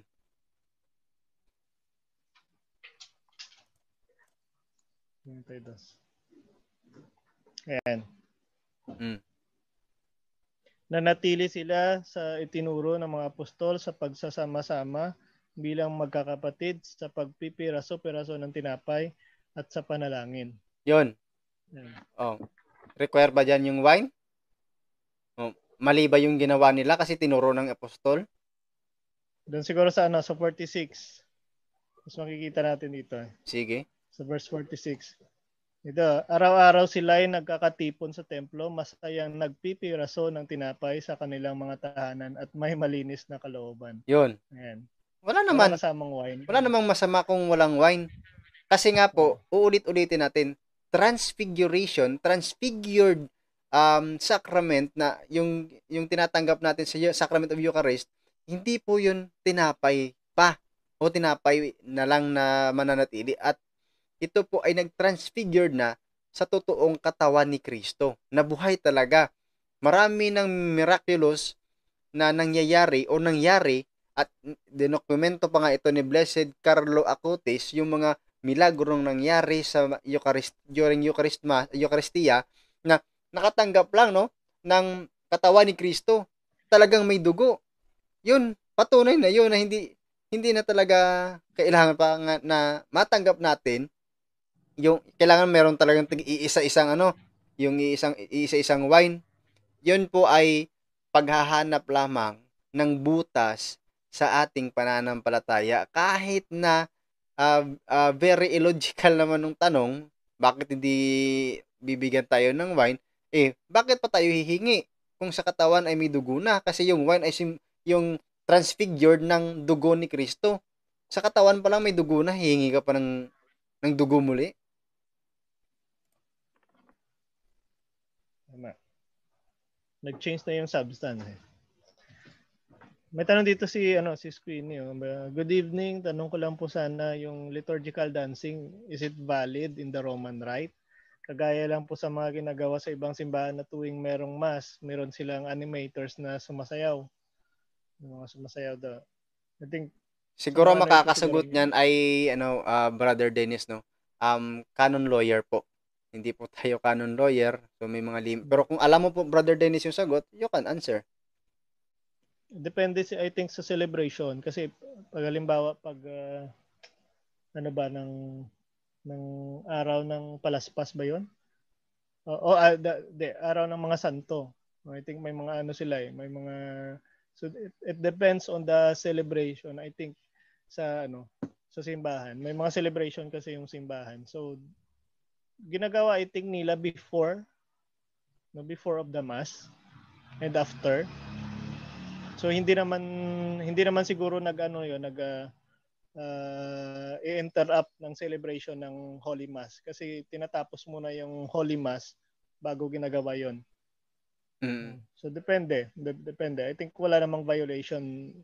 Wala namang ano wala namang sigurong contradiction doon sa tinuturo ng Biblia no at ng simbahan Okay. Pero ano, uh, makakasagot din yan talaga yung ano, yung mga uh, canon lawyer kasi sila yung nakakaalam ng batas ng ating simbahan eh. Hindi ko yan alam. Sige, okay. baka meron pa. Ayan ang Ilonggo ba yan, bro? Ito. Oh, share lang daw ni Sis uh, Feli, no? Kinkito. Share ko lang kahapon na nakada nakadagan ata si Lucifer sa akin. Uh, dalawang simbahan ang binisita ko. Ang una, just to pray the rosary kasi wala naman mass pero may communion by the, the by the time na gusto ko mag-confess na udlot. Okay. Sabi ni Pusong Dali sa'yo, kantahan siguro pero sayawan, ewan ko lang. Hindi ko kasi hindi kasi ako makapag organizations. Hindi, hindi kasi ako makapag-conclude niyan eh. Kasi ano eh. Uh, mahirap nang magsalita dito ng na ano naka-live kasi tayo baka mali yung ituturo ko eh mahirap na kaya mas mas maigi siguro mag-base na lang tayo hmm. sa ano sa law ng simbahan no hmm. sa mga uh, canon lawyer natin yung sinabi ko kanina based on observation lang yun eh kasi nakikita ko rin during the celebration of the uh, uh, All Saints Day na may mga costume pa sila nagsasayaw pero after and the before of the mass yun. Mm-mm. Uh, not in the middle. Okay, so okay na ba tayo? Um, Ito, sa, sabi ni Jan Alviaro, Sis Janice, ano kaya ang mga gamit ng mga sulpot kung Bible ang pinagbabatayan, base uh, base lang sila. Ah, uh, mag-camel o donkey? At donkey? Mag-camel at donkey. Ano ba 'yun? Brad Jan uh, Albiar tungkol sa ano 'yun? Camel at donkey kung pagba, uh, Bible daw yung binagbabasyan ng, ng ibang pananampalataya, ano ibang ga- gamitin nila? Camel ba o donkey? Sa anong aspeto po yun, Brad, dyan? Translate sila ng... Ito na may, may karugtong si Sis Peli, Brother Dennis. Sa 6 p.m. at their church, ah, ako, expect may mas kami, kaya ah, karipas ako, punta dahil walang server after mass. Mag-confess ako, ah, ul, af- ulit at walang magbilang ng collection. Gusto akong pahirapan ni Taning. Ah, siguro ano, nagkakaproblema siguro Brother Dennis, no? Si sister natin, no? Ah, Brother Dennis? Si Arbeck muna. ah, sige, sige. Ano po yung ah, brother? Yung tungkol sa kay ano yun, sino yun kanina? Sandali ah. Si Pelican Quito kasi yun eh. Parang ano daw, eh, inaatake siya ng hindi natin nakikita na kaaway. Oh. Yung sa pagrosary na kin, ah, ano, Mm. ah, ito, share ko lang kahapon na naka, nakadagan ata si Lucifer sa akin. To church ang binisita ko. Ang una, just to pray the rosary kasi wala naman mass pero may communion. By that time, na gusto ko mag-confess na odlot. Okay. Mm. So, ano sa'yo, brother?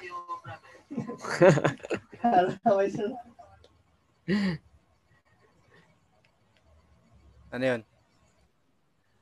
Sabi Diba rin kasi dyan, ang sabi na dito, sige. na communion, ah mayroon, ah mayroon daw, ah kasi dabi no, ah wala naman mass, pero may communion by the time na gusto ko mag-confess na udlot.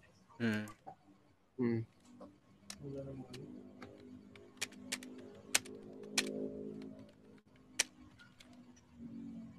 Di ba brother, ah sabi ni ni Father Darwin Mm. na ah ah, noon kung ah kung ah, bago ang misa o yung mayroon kang interest o may ah, intention na mag ah, mag-confess pero um, na nung time na malapit ka na at hin- kasi ma um, ah, mag-uumpisa na yung ah, misa at hindi ka nakapag-confess pwede ka daw ah, maka ah, sa, nito maka-take ng communion pero pagkatapos ng misa is mag ah, mag-confess ka na.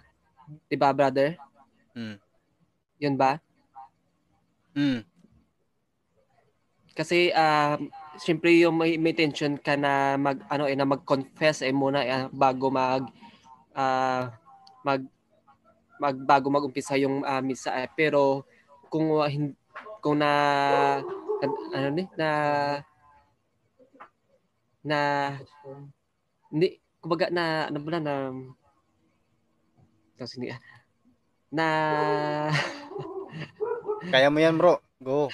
gani kumbaga sa aton pa na ubusan ka na bala ka oras bala kay maumpisa na ya Ah, naubusan ka na ng oras dahil mag-uumpisa na. Oo, ubusan ubusan kasi ah, malapit na umpisa yung ah, yung misa so kailangan din ng pare na mag-prepare ng kanyang sarili para pag para in celebration of the Holy Mass.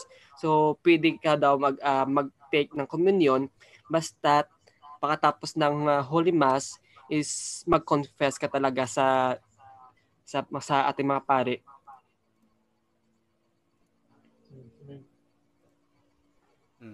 Baka meron pa dyan, ah, ano, no? Silip-silipin natin yung mga katanungan ng ating mga kapatid dyan ah, sa ating YouTube. Ah, kasi nakita natin na ah, bigla na tayong dumami, no? Na, ah, sa ating live. Baka meron diyang magdagdag na tanong pa- para mabigyan natin ng kalinawan, brother. Sa ano dan sa YouTube, sa Facebook natin wala bang katanungan? O, yung sa pagsasayaw, sabi ni Brother Tem Revilla, ah, depende raw sa pare sa liturgy kung isasayaw o hindi. Nasa parish ano naman yan. Depende sa ano sa sa pare mismo. Hmm, tama 'yun. Kaya ano, Uh, may tanong dito si Esport. Mm, May ano daw? po. Ano basa na ba to? May may tanong po ako kasi may may kapansanan din ako na kapatid. 'Di ba sa final judgment kung uh, kunin ang soul and body pagdating po ba sa langit, maging normal na po ba siya kagaya nating walang kapangsanan? No? Mm. Sige. Resurrected body na. Mm, Ano 'yan? Kung kung ano pakiulit may, nga bro. may kapansanan siya dito. Let's say kulang ng paa, parang ganon. Pero pagdating ba sa langit, kumpleto na ba? Kag- Normal na ba? Ito, babasahin natin yung ah Filipos 3:21 yata 'yon.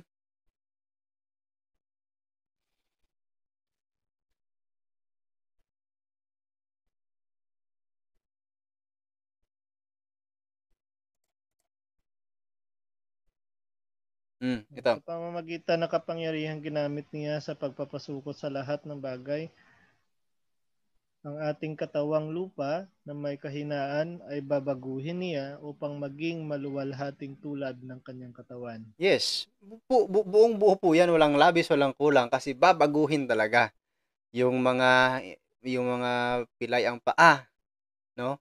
Babaguhin talaga 'yan sa resurrection. Yung mga ah, merong kapansanan, merong kakulangan sa katawan, meron i- babaguhin talaga tayo, no? Na magiging ah, magkakaroon tayo ng maluwalhating katawan ng tulad sa kanya magkakaroon tayo ng tinatawag natin na the glorified body.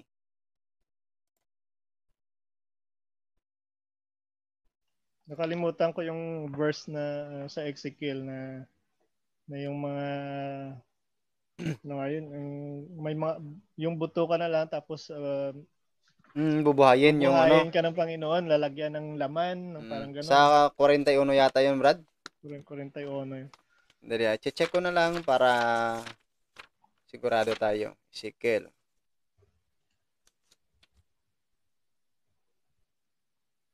Hmm. Ah, hindi, hindi yata 41. Yan, yung picture dito. Ezekiel. Number picture na siya. Iba kasi yung Bible yung gamit ko ngayon. Hindi ko sa madaling makita.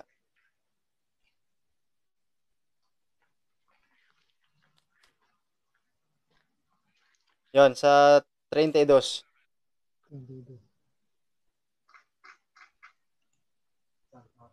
Ezekiel, 32. Ano, anong verse?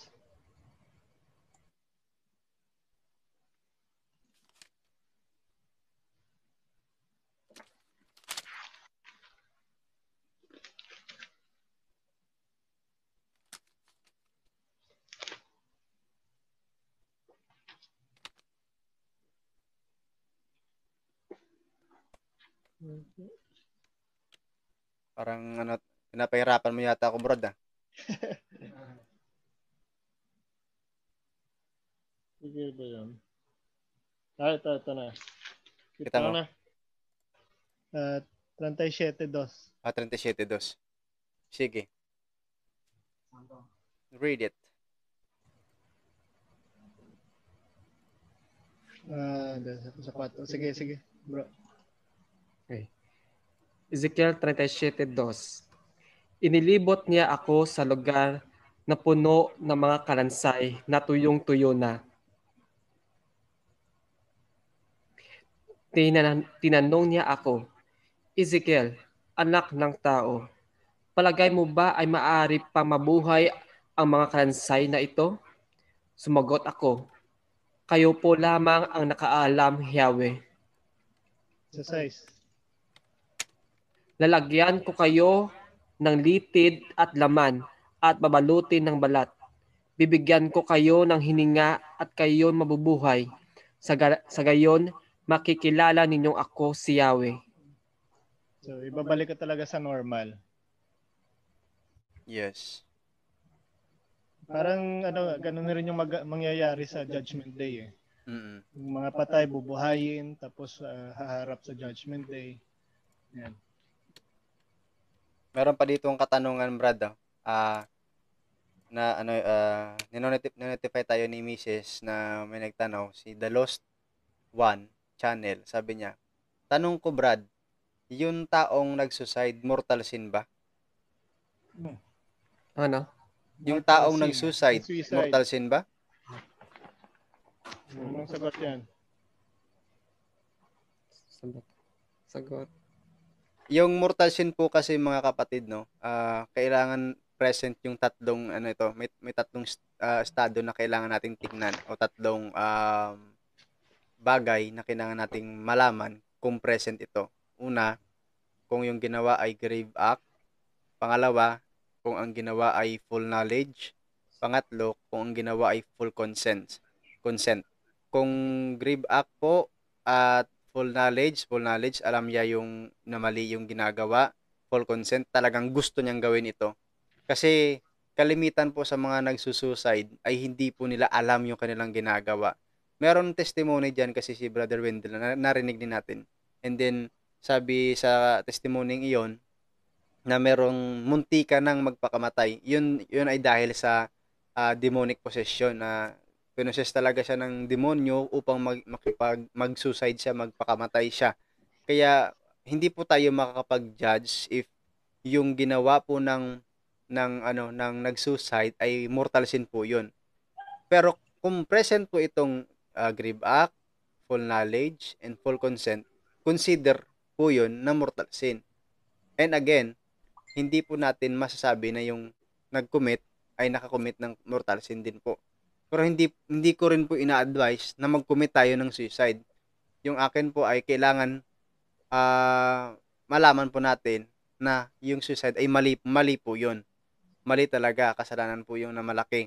Pero kapag present itong tatlong ito, magiging mortal sin 'yan. So kapag hindi naman, so ma- mabibilang din sila na na venial sin kasi walang hindi kumpleto yung tatlong ito, no? Nas palaging i-share sa atin ni Father Darwin, kailangan present itong uh, full full knowledge, full consent at grave act, no? Kasi sabi kasi sa 4:12 ng Santiago, ito yung ating ah, mababasa Brother Dennis tungkol naman diyan kasi yung yung pagko-commit po ng suicide ay killing yourself, yung pagpapatay ay party po yan ng ng kautusan. Kaya sino ba yung may right to judge no sa mga nakakommit ng ganyang kasalanan? Ang Diyos lamang ang nagbibigay na, ang nagbigay ng kautusan at siya rin ang hukom. Tanging siya ang may kapangyarihang magligtas at magpahamak.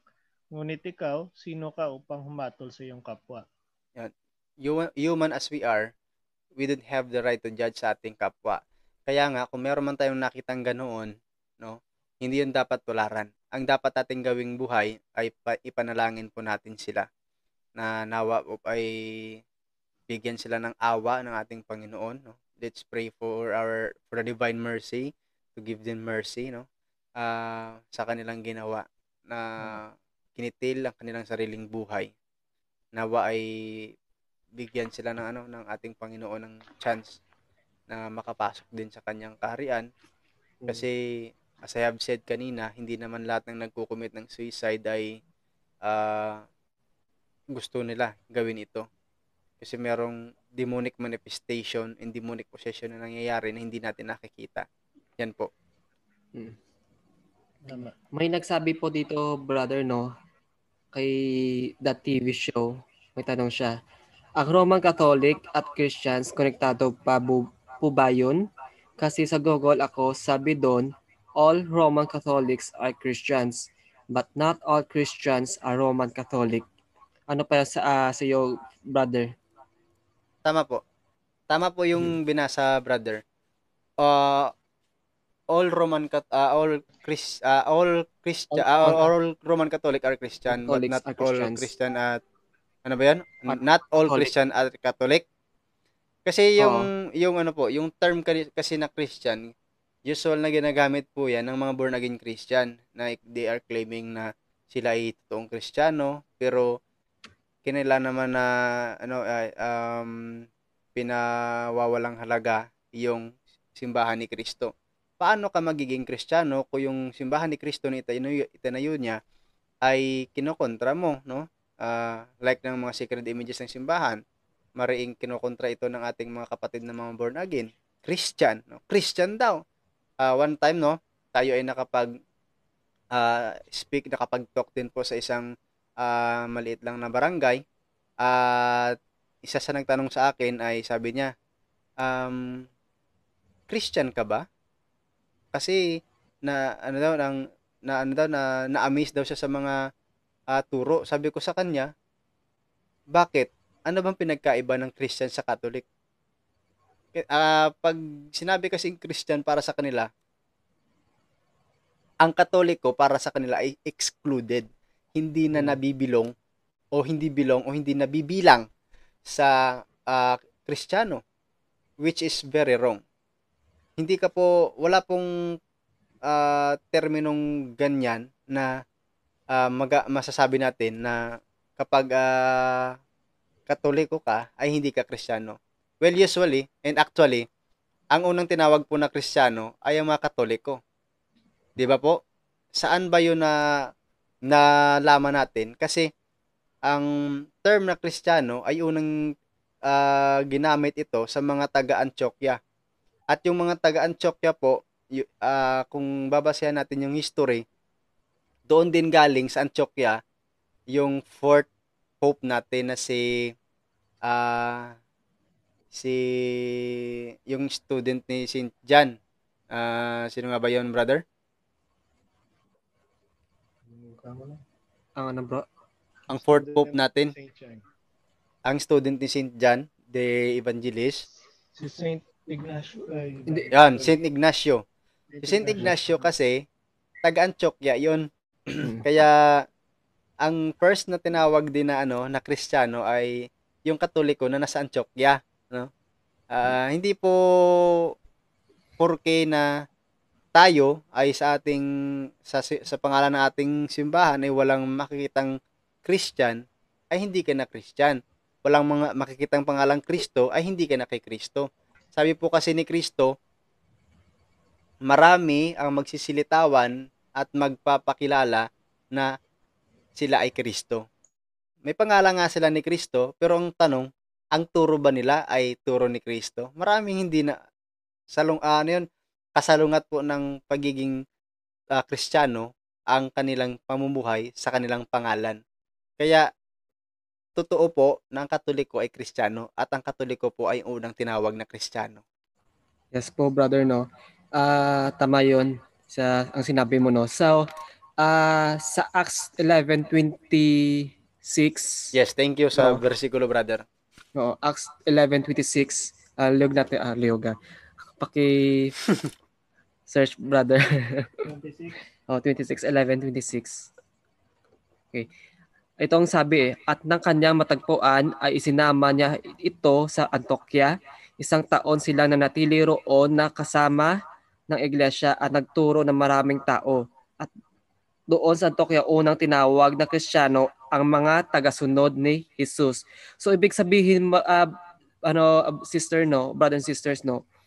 Ang ter- ang word na Kristiyano ang iyang ah, ang ibig sabihin po ang mga tagasunod ni Jesus. So ibig sabihin kung tayo po ay followers ah, of Christ, so doon tayo tinatawag na Kristiyano kasi po ang Kristiyano defines or meaning niya is uh, uh, is, uh, followers of Jesus Christ. So yun po brother. Thank you sa paliwanag mo, brother, no? Nasabi ni John Alviar, "Ca- Catholics are the original Christians. Yun po yung paliwanag natin kanina, no? At sa talatang ibinigay ni brother Ferdinand. Parang yung kadalasang tanong nila, no? Ano ka ba talaga? Roma, Romano o Kristiyano? Mm, Yes. yun. So parang redundant yung Parang kanila. hirap na sagutin, no? Ano yan, um, Redundant. ah, yung tactic na kanilang- yan ay pag, pag ni, pang lilin lang na taktika. Sabi nga ni John Alviar, oh, ano ba, ah, Kristo ba o Crisbo? Baka Crisco, yung brand ng Cebu na baka. Kasi meron ano eh, sa ay, ah, pasugo ng ANC, yung binasa ni Brother Wendell ay Iglesia ni Crisbo. Yun. Ah, siguro nagka-type typo ano yun, type typological error. Kaya nag-crisbo. Oh, tama. Parang Tama parang Google, no? Gulo-gulo. Yun, ang na, ang gulo-gulo.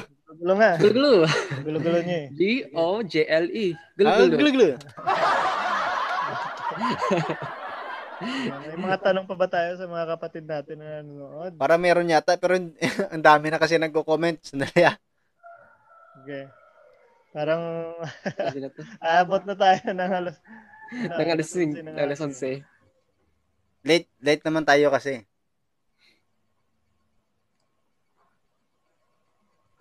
Tama. Sabi ni, ano, ah, ni Pelican Kito, basta yung mga sulpot na yan, ang may mas malaking kasalanan. Pero, ah, kahit na po tayo, no, tayo yung mga apologists, hindi po tayo nagbibintang o di kaya nag, nagja-judge po no, sa ibang pananampalataya. Uh, we always uh, do what uh, Saint Peter uh, said no, sa kanyang sulat sa unang Pedro 3, uh, 15 hanggang 16. Basahin natin yan, Brother Dennis. Bilang mga apologists no, na sumasagot po sa mga katanungan sa ating pananampalataya, may kailangan tayong unawain no, sa ating ginagawa.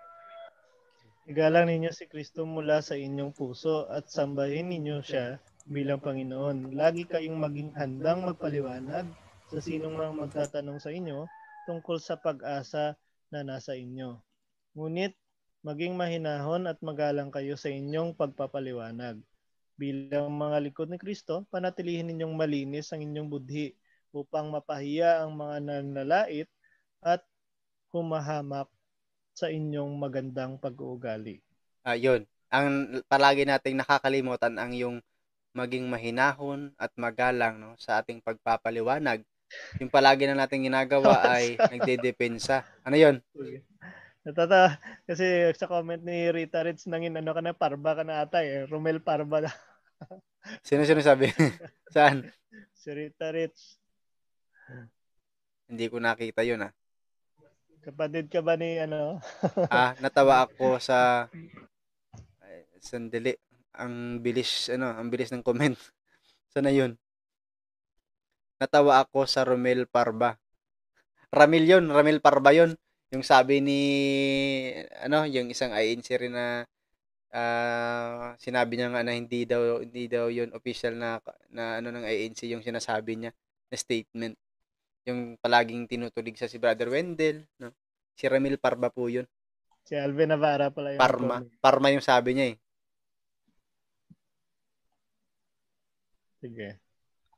Kung sa taas daw, sabi ni Sis Pelican Kito, may mga tanong pa. Hanapin nyo, tulungan nyo ako.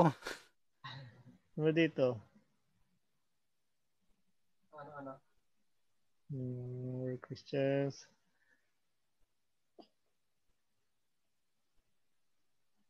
Tumitilawak na dito yung manok brother Romel ah. Ay, hindi ko pa naririnig. Ay, naman. napunta sa ibang sekta. Are, paano mga bro ang aking sister na napunta sa ibang sekta? Gawa ng asawa niya na sa, kab- sa kabilang sekta. Masakit lang ah, naririnig ko na sa sister kong ayaw niya kay Mama Mary. Need ko din po bang isama siya sa kumpisal? Ay, hindi na po. Kasi yung kumpisal po, personal mo na kasalanan. Hindi, hindi mo naman kasalanan yung ginawa ng, ng iyong kapatid. Ang gagawin po natin ay ipagdasal yung iyong kapatid na ma-enlighten po siya. Kung pwede po, invite mo din po siya sa ating YouTube channel, sa ating programa, Mm. upang pwede, pwede rin siya pong maka, ano, maka-interact dyan sa comment na yan at uh, meron tayong mga kapatid na nagbabasa din para ma-acknowledge natin na ma-notify tayo at mabigyan ng kasagutan yung kanyang katanungan. At, at pwede rin siyang ano, ah, kung gusto niya po, ah, makip, makipag one-on-one sa kay Brother Mark, pwede rin, o Brother Dennis, pwede rin yun. One-on-one po na So, ano ah, hindi, hindi, hindi yan. debate ah. Yung aking ibig sabihin ay yung pagpapaliwanag po. Ah, hindi po natin di- dito pinopropose yung debate. Atin po ay apologist, apologist po tayo. We are defending our faith, no? Ah, dinid, nagdedepensa lang po tayo, hindi tayo mag ano, ah, mag parang tayo pa yung naghahamon ganun. Hindi po ganun ha. Baka ma-misinterpret nyo ako ha. Si Sispeli pala yung tanong. Sabi ni Kusong Dalisay, uh, transfiguration sa kanina sa sinabi natin sa transfiguration. Transfiguration, pagbabago ng form of substance. Sa transubstantiation, walang change, Kung change sa form, pero pero may change sa substance. Ah, sa kanina siguro, Brother Romel, no, sa sinabi mo kanina sa transfiguration, ang ah, I think yung sinasabi ni Brother Romel kanina, yung yung transubstantiation, yung ano ya, yung sinasabi na, yung gusto niyang sabihin. Ah, okay. Ah, iba kasi yung transfiguration, ah, ano, maano yun eh, sa, sa pag ah, ni Kristo at saka ng Pedro sa, ano, sa, sa bundok ata yun, nung nagpakita, nung nalangit si Kristo na, na sa Ama at ah, nilibutan siya ng, ano, ng, ng, ano ba yun, ng, ng clouds. Uh, Yes. Sabi sa kanya ng Ama, ito yung ah, amang it, ama, ito yung ah, ah, Kinalulugdan kong anak. Oh, ito yun. Yung kinalulugdan kong anak. Yung, yung transfiguration kasi nakita yun ni Mm. Pedro na nag-iba yung ah, form. No? Nag-iba yung form, yung katawan ni Kristo. May tanong dito, Ah. Brother Dennis, no, sabi ni Janice Berigay. Nakalimutan ko term na sinabi ni Bro Wendell noon sa three types of worship natin. Yung ay dulya. Ano ba yun? I, pwede ba pakiulit yun, bro? And connection sa mga ka, kakaumay na paratang ng sulpot na sekta. Alam nyo ba yan, Brother Dennis at Brother Mark, yung tungkol sa Sino of nagtanong? si Janice Berigay. May idea ba kayo? Ano yung tanong niya? Hindi din. Kasi din nga, pam- pamangkot niya. Ano tanong ngayon, Brother Romel? Ah, nakalimutan niya daw yung sabi ni Bro Wendell na three types of worship natin. Yung dulya at yung ano pa ba yung iba? Ang sabihin na siya nga ano, Three types of worship.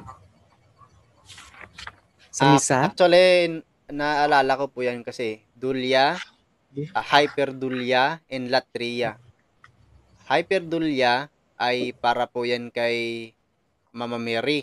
No? Ah, dul, ah, dulya sa mga saints po yan. Ah, na ano na sa mga ibang saints. At yung latria, address po yan sa Diyos na tunay. Latria. Wala pa tayong ginaga ah, binibigyan ng lat, latria. Correct me if I'm wrong, no? Baka mali yung aking paliwanag dyan, ha? Sa ah, sa sa sinabi kanina ni ano no ni Sis Philly Kinkito, Mm. di ba nagtanong siya kung pwede ba niyang um, ah isama siya sa kumpisal. So sa akin ano advice ko lang sister no, ah, hindi mo siya pwede isama sa siya sa kumpisal pero pwede mo siya isama sa iyong panalangin na bumalik sa ating simbahan. So ah, napaka-powerful talaga ng prayers natin. So siguro sa para sa akin, ah, yun po yung dapat mong gawin na i-pray siya na bumalik sa ating ah, simbahan. Brother? Yes. Ah, Brother Dennis. dapat ano eh, Oh, sige, sige. dapat ah, i-try mo rin na Naku, ang bilis ng mga sasakyan dito. Pero dapat i-try mo rin na ano na na turuan yung kapatid mo kasi nga ah, yung sinabi ni Ezekiel Brother Romel na oblig um, May maliligtas natin pananagutan? yung sarili natin kapag ah, ano nga Binigyan ng warning. natin yung sar- oh, kapag nagbigay tayo ng warning no na para Sa hindi siya, 3.19. oh, para hindi siya tumuloy sa kanyang ginagawang kasalanan. Mm-mm. no? So kung nagawa mo na yung part mo, so at least nagawa mo na yung part, ang part mo para magbago siya. Pero pag hindi pa rin, ah, nasa sa kanya na yon. Pero yun na yung prayer na magagawa natin na ang Diyos na talaga yung makapagbibigay sa kanya ng pagbabago na hinihiling natin para sa kanya. Ah, po yun. At meron ditong magandang tanong din po, Brother Dennis at Brother Mark, no? Sabi ni Jose ah, Sostenes Lotchen, Lechon Chito.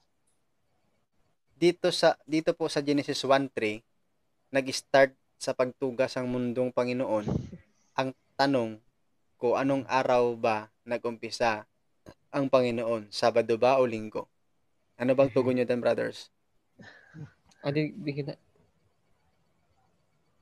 Wala wala pa namang ano doon eh. Wala pa namang Monday uh, to Sunday na, na term no na ginagamit natin noong unang panahon.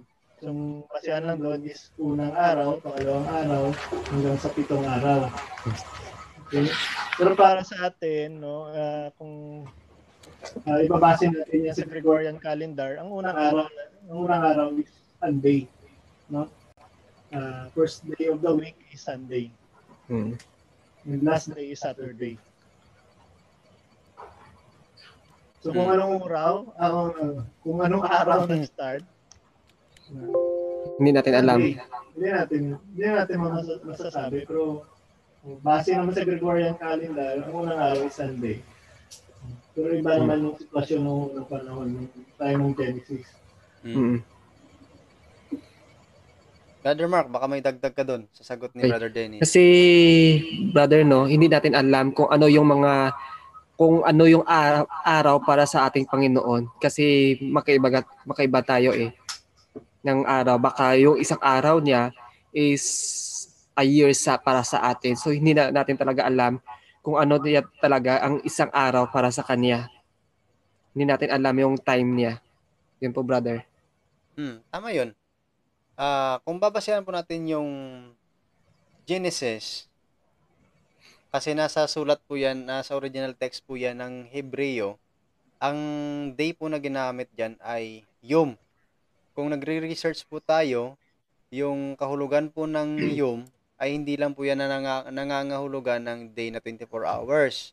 Hmm. Ang yun, ang Yom po ay nangangahulugan din po yan ng billions of years, ah, millions of years, no? Kaya hindi mo ma ah, hindi mo talaga matutukoy yung eksaktong araw. Kaya nga tayong mga Katoliko ay hindi tayo naniniwala na kailangan yung pangingilin ay nasa Sabado. You cannot um, you will not know the exact day ng pamamahinga o ng rest ng Panginoon dahil da- dahil sa ah, binilang lang ito na 7 day. Oo. 7 day sa atin. Pero sa araw ng Panginoon, hin- hindi po tayo magka, magkapareho sa oras at sa araw po ng Panginoon.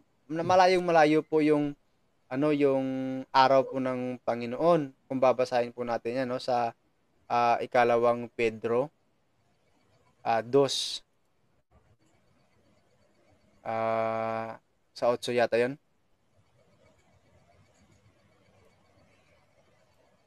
Mm, Hindi.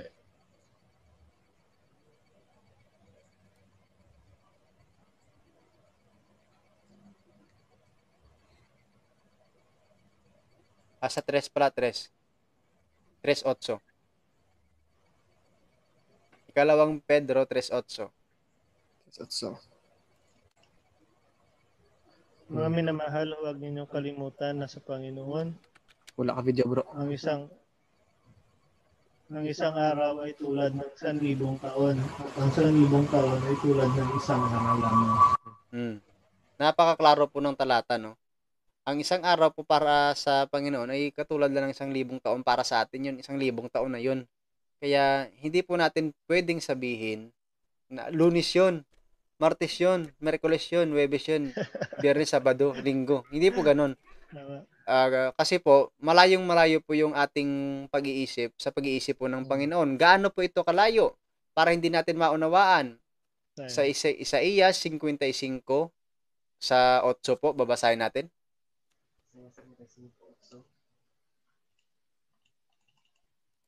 Ang sabi ni Yahweh, ang aking kaisipan ay hindi ninyo kaisipan, ang inyong kapara, kaparaanan ay hindi ko kaparaanan. Um, Yun. Tapos, sa 9, Ay, tara. Kung, papa, kung paanong ang langit ay mas mataas kaysa lupa, ang aking kaparaanan ay higit kaysa inyong kaparaanan. At ang aking kaisipan ay hindi maaabot ng inyong kaisipan. yun. Huwag na tayong ano pa mag-aksaya ng panahon na abutin natin yung kaisipan ng Diyos at sasabihin natin na lunis yon, martis yon, hindi po natin maaabot yon. Diyos po siya, tao lang po tayo at hindi natin pwedeng gawing lunis ang lunis ng Panginoon. Ang lunis natin, hindi yan magiging lunis ng Panginoon. No? Hindi po siya bound ng time. Siya po yung Diyos. No? Hindi po natin pwedeng. Kasi siya nag-create eh. Siya nag-create ng lahat. Kaya hindi siya bound ng time. Hindi siya pwedeng masasabi na, oh, yung, yung Diyos ay naglikha ng, ah, ng liwanag, let there be light. Doon sa unang paglikha niya. Araw na yon ay linggo. Linggo niya nilikha yung, yung ano, yung light. Hindi po ganun yung pagkakaunawa natin yan, kapatid. Kaya hindi po natin makasasabing lunes yon, martes yon, merkulis yon, webes yon, bernes yun. Kasi magkaiba po yung time natin sa time ng Panginoon. Yan po yung kasagutan natin dyan. Hindi, hindi rin yung may explain na ano eh, ng science eh. Yes. Kaya sinabi ng uh, ginawa ng Diyos yung mga malalaking uh, hayop at saka sunod na araw ay eh, ginawa na yung tao. So yung comparison na uh, may uh, may dinosaur na ba ng time na yun tapos yung tao ay, ay ginawa rin ng Panginoon, hindi kaya magko-contradict yun. Yun nga. Mamamatay yung mga tao doon eh. Mamamatay yung tao kapag may mga dinosaur na isinama doon. Kaya nga sinasa sa ano sa sa science uh, sinasabi natin na yung yum, nung ibig sabihin ng yum ay ay ano talaga, uh, taon yung binibilang natin doon. Mm. Tama yung brother, no? Sabi ni Mrs. malabo na daw yung mata ko. Tama yan, brother, no? So, hindi natin ma pwede ihambing o itulad yung ating pag-iisip sa pang, sa pag-iisip ng ating Panginoon kasi iba talaga siya eh. Hindi natin alam kung yung uh, uh, kung ano yung alam niya talaga. So uh, hindi natin pwede na sabihin na uh, katulad natin yung pag-iisip niya. So, hindi natin makaka masabi ah tawag nito, ah hindi natin ma Kaya mo nun, bro. Acknowledge muna natin, brothers. Brother Wendell Talibong, sa, nandito sa atin Ay, nakatuto ngayon. Hello, Sabi hello, bro Romel. Hello po, Brother Wendell. Salamat po sa pagpasok. Baka gusto mo pong pumasok, no? Kaya lang, mag-11 na pala. so, yung brother, no? Kasi, uh, sa sabi ko kanina, so hindi natin ma pwede i- ihambing yung yung sarili natin sa Panginoon kasi tao tayo at hindi tayo Diyos. So, napakalayo talaga yung agwat. So, hindi tayo katulad ng mga iba dyan na nagsasabi na o na nag-reclaim no ng kanilang mga sarili. Hindi ko na impag-mention kung sino kung sino kung sino sila. Pero Huwag mo nang i-mention si ano, Kibuloy, brother. Uy! Ay, sorry, sorry, na-mention ko pala. Gusto na si Kibuloy yan. Huwag tayo magbintang dito. Uh, Wala ko sinabi. Kanina lang nagsabi si San Pedro. Ha, Oo nga. Hindi, hindi, hindi ko yung sinasadya. Sa akin yung nakita ko lang eh. Pero yung uh, ano, yung basihan, uh, Brother Romel, Brother mm. Macmac, yung unang araw hanggang sa ikapitong araw, nagsimula na yun ng panahong Kristiyano na eh. Uh, yung nagpakita si Kristo nung unang araw, yun na yung basehan natin ng Sunday uh, Sunday Mass natin. Mm. sa, sa Jan 20, ano yun eh? Jan 2019 ba yun? Yes. Uh, sa, sabi ni Bro Wendell, Brother Dennis, oh, sa susunod, papasok daw sa atin si Brother Wendell. Magandang balita to. Magaga- magiging maganda yung ating talakayan dito. May maganda yan. May ibsa na yung pagsasalita namin ng Tagalog. Kasi sa, sa inyong dalawa yan, puno na yan. Magaling to si Brad Wendell sa Tagalog eh. Kahit na magka, ano yun? Sige bro. Sige. Den, uh, bro Dennis, patuloy ka. Uh, yan na yung uh, uh, yun na yung ano, yung yung yung halangin natin na mahahambing yung yung base natin ng unang araw sa pitong araw nung panahon ng Genesis. Mm-hmm. Kasi yung unang araw at saka ikapitong araw, uh, nanging araw talaga nung panahong Kristiyano na mismo, nung nandito na si Kristo. Mm-hmm. Mm-hmm. Ah, sino ga ngayon brother na si Job ba talaga yon yung tinanong ni uh, ng Diyos na kung alam mo ba yung uh, yung land o width ng mundo kung sino yung uh, sino nga yun? Si Ezekiel yata? Si Ezekiel o si Job? Hindi ko sigurado eh. Uh, ang pamangkot na bala, balaan mo bala ang kung sin kung anong kalapad ang kalibutan, ang iyang uh, kahit magkalisod-lisod tayo, okay lang, sabi ni Bro Wendell. Ganun pala yung term. Sige. Hayaan mo na yung baliw na yan. okay, okay. Susukatin Si pa yung mundo. Wag na, wag natin sukatin yung mundo. Ma, ano tayo yun? Aabutin tayo ng kamatayan natin yan, brother. Kasi si So may tanong pa ba, brother? Sige, sige pa? back, backredan siguro kasi hindi ko na makita sa, sa dami na nagko-comment. Wala na, puro na no.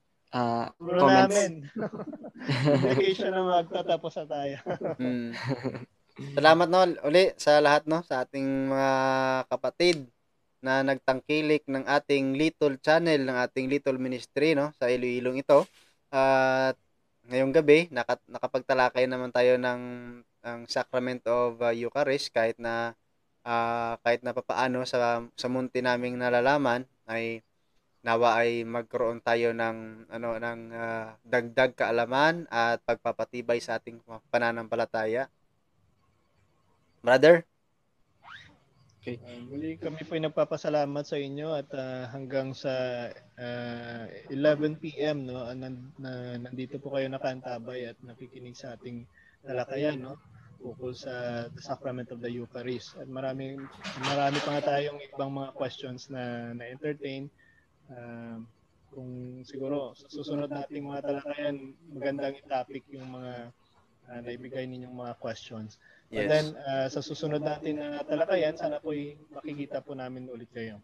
At sana po nandito na si Brother Wendell, no, makakasama na natin sa ating uh, talakayan ngayon. Kukontakin natin bukas kung wala siyang schedule. Tama. Sana makapasok yun.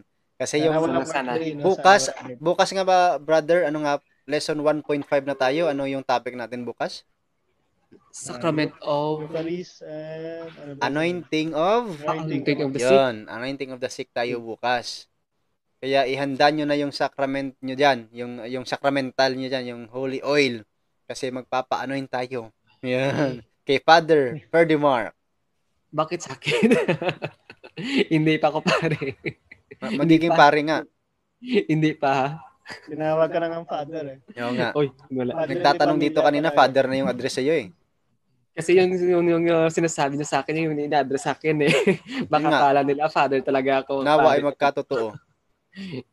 Okay, so sa muli no, ah, maraming maraming salamat sa pagbigay ng uy ng oras ah, sa pag ah, gis ah, sa, sa panatiling paggising sa ganitong oras sa amin. So maraming maraming salamat talaga. yo. So don't forget no na to subscribe in this channel and to and follow and share this uh of this uh, uh this video man also no. So again, uh, thank you thank you very much talaga sa sa pagsuporta ninyo sa amin at sa pagsama ninyo sa amin sa pagtalakay ng ating uh, pa, pa, pananampalatayang uh, katolika. So, yun lang po no at sa uh, gabay po no na bigyan tayo rin ng uh, uh, ng ng ng knowledge at ng wisdom ng, ng Panginoon at pati yung mga at hindi natin kalimutan na i-pray yung mga kapatid natin na sa ibang sekta na gabay na, na sana ay bumalik sila sa totoong na tinatag ah, sa, sa totoong simbahan na tinatag ng ating Panginoong Hesus Kristo.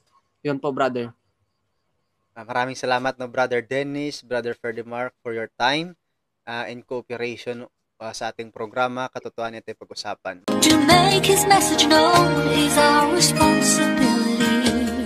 So here we are to pledge our lives to the Lord of eternity.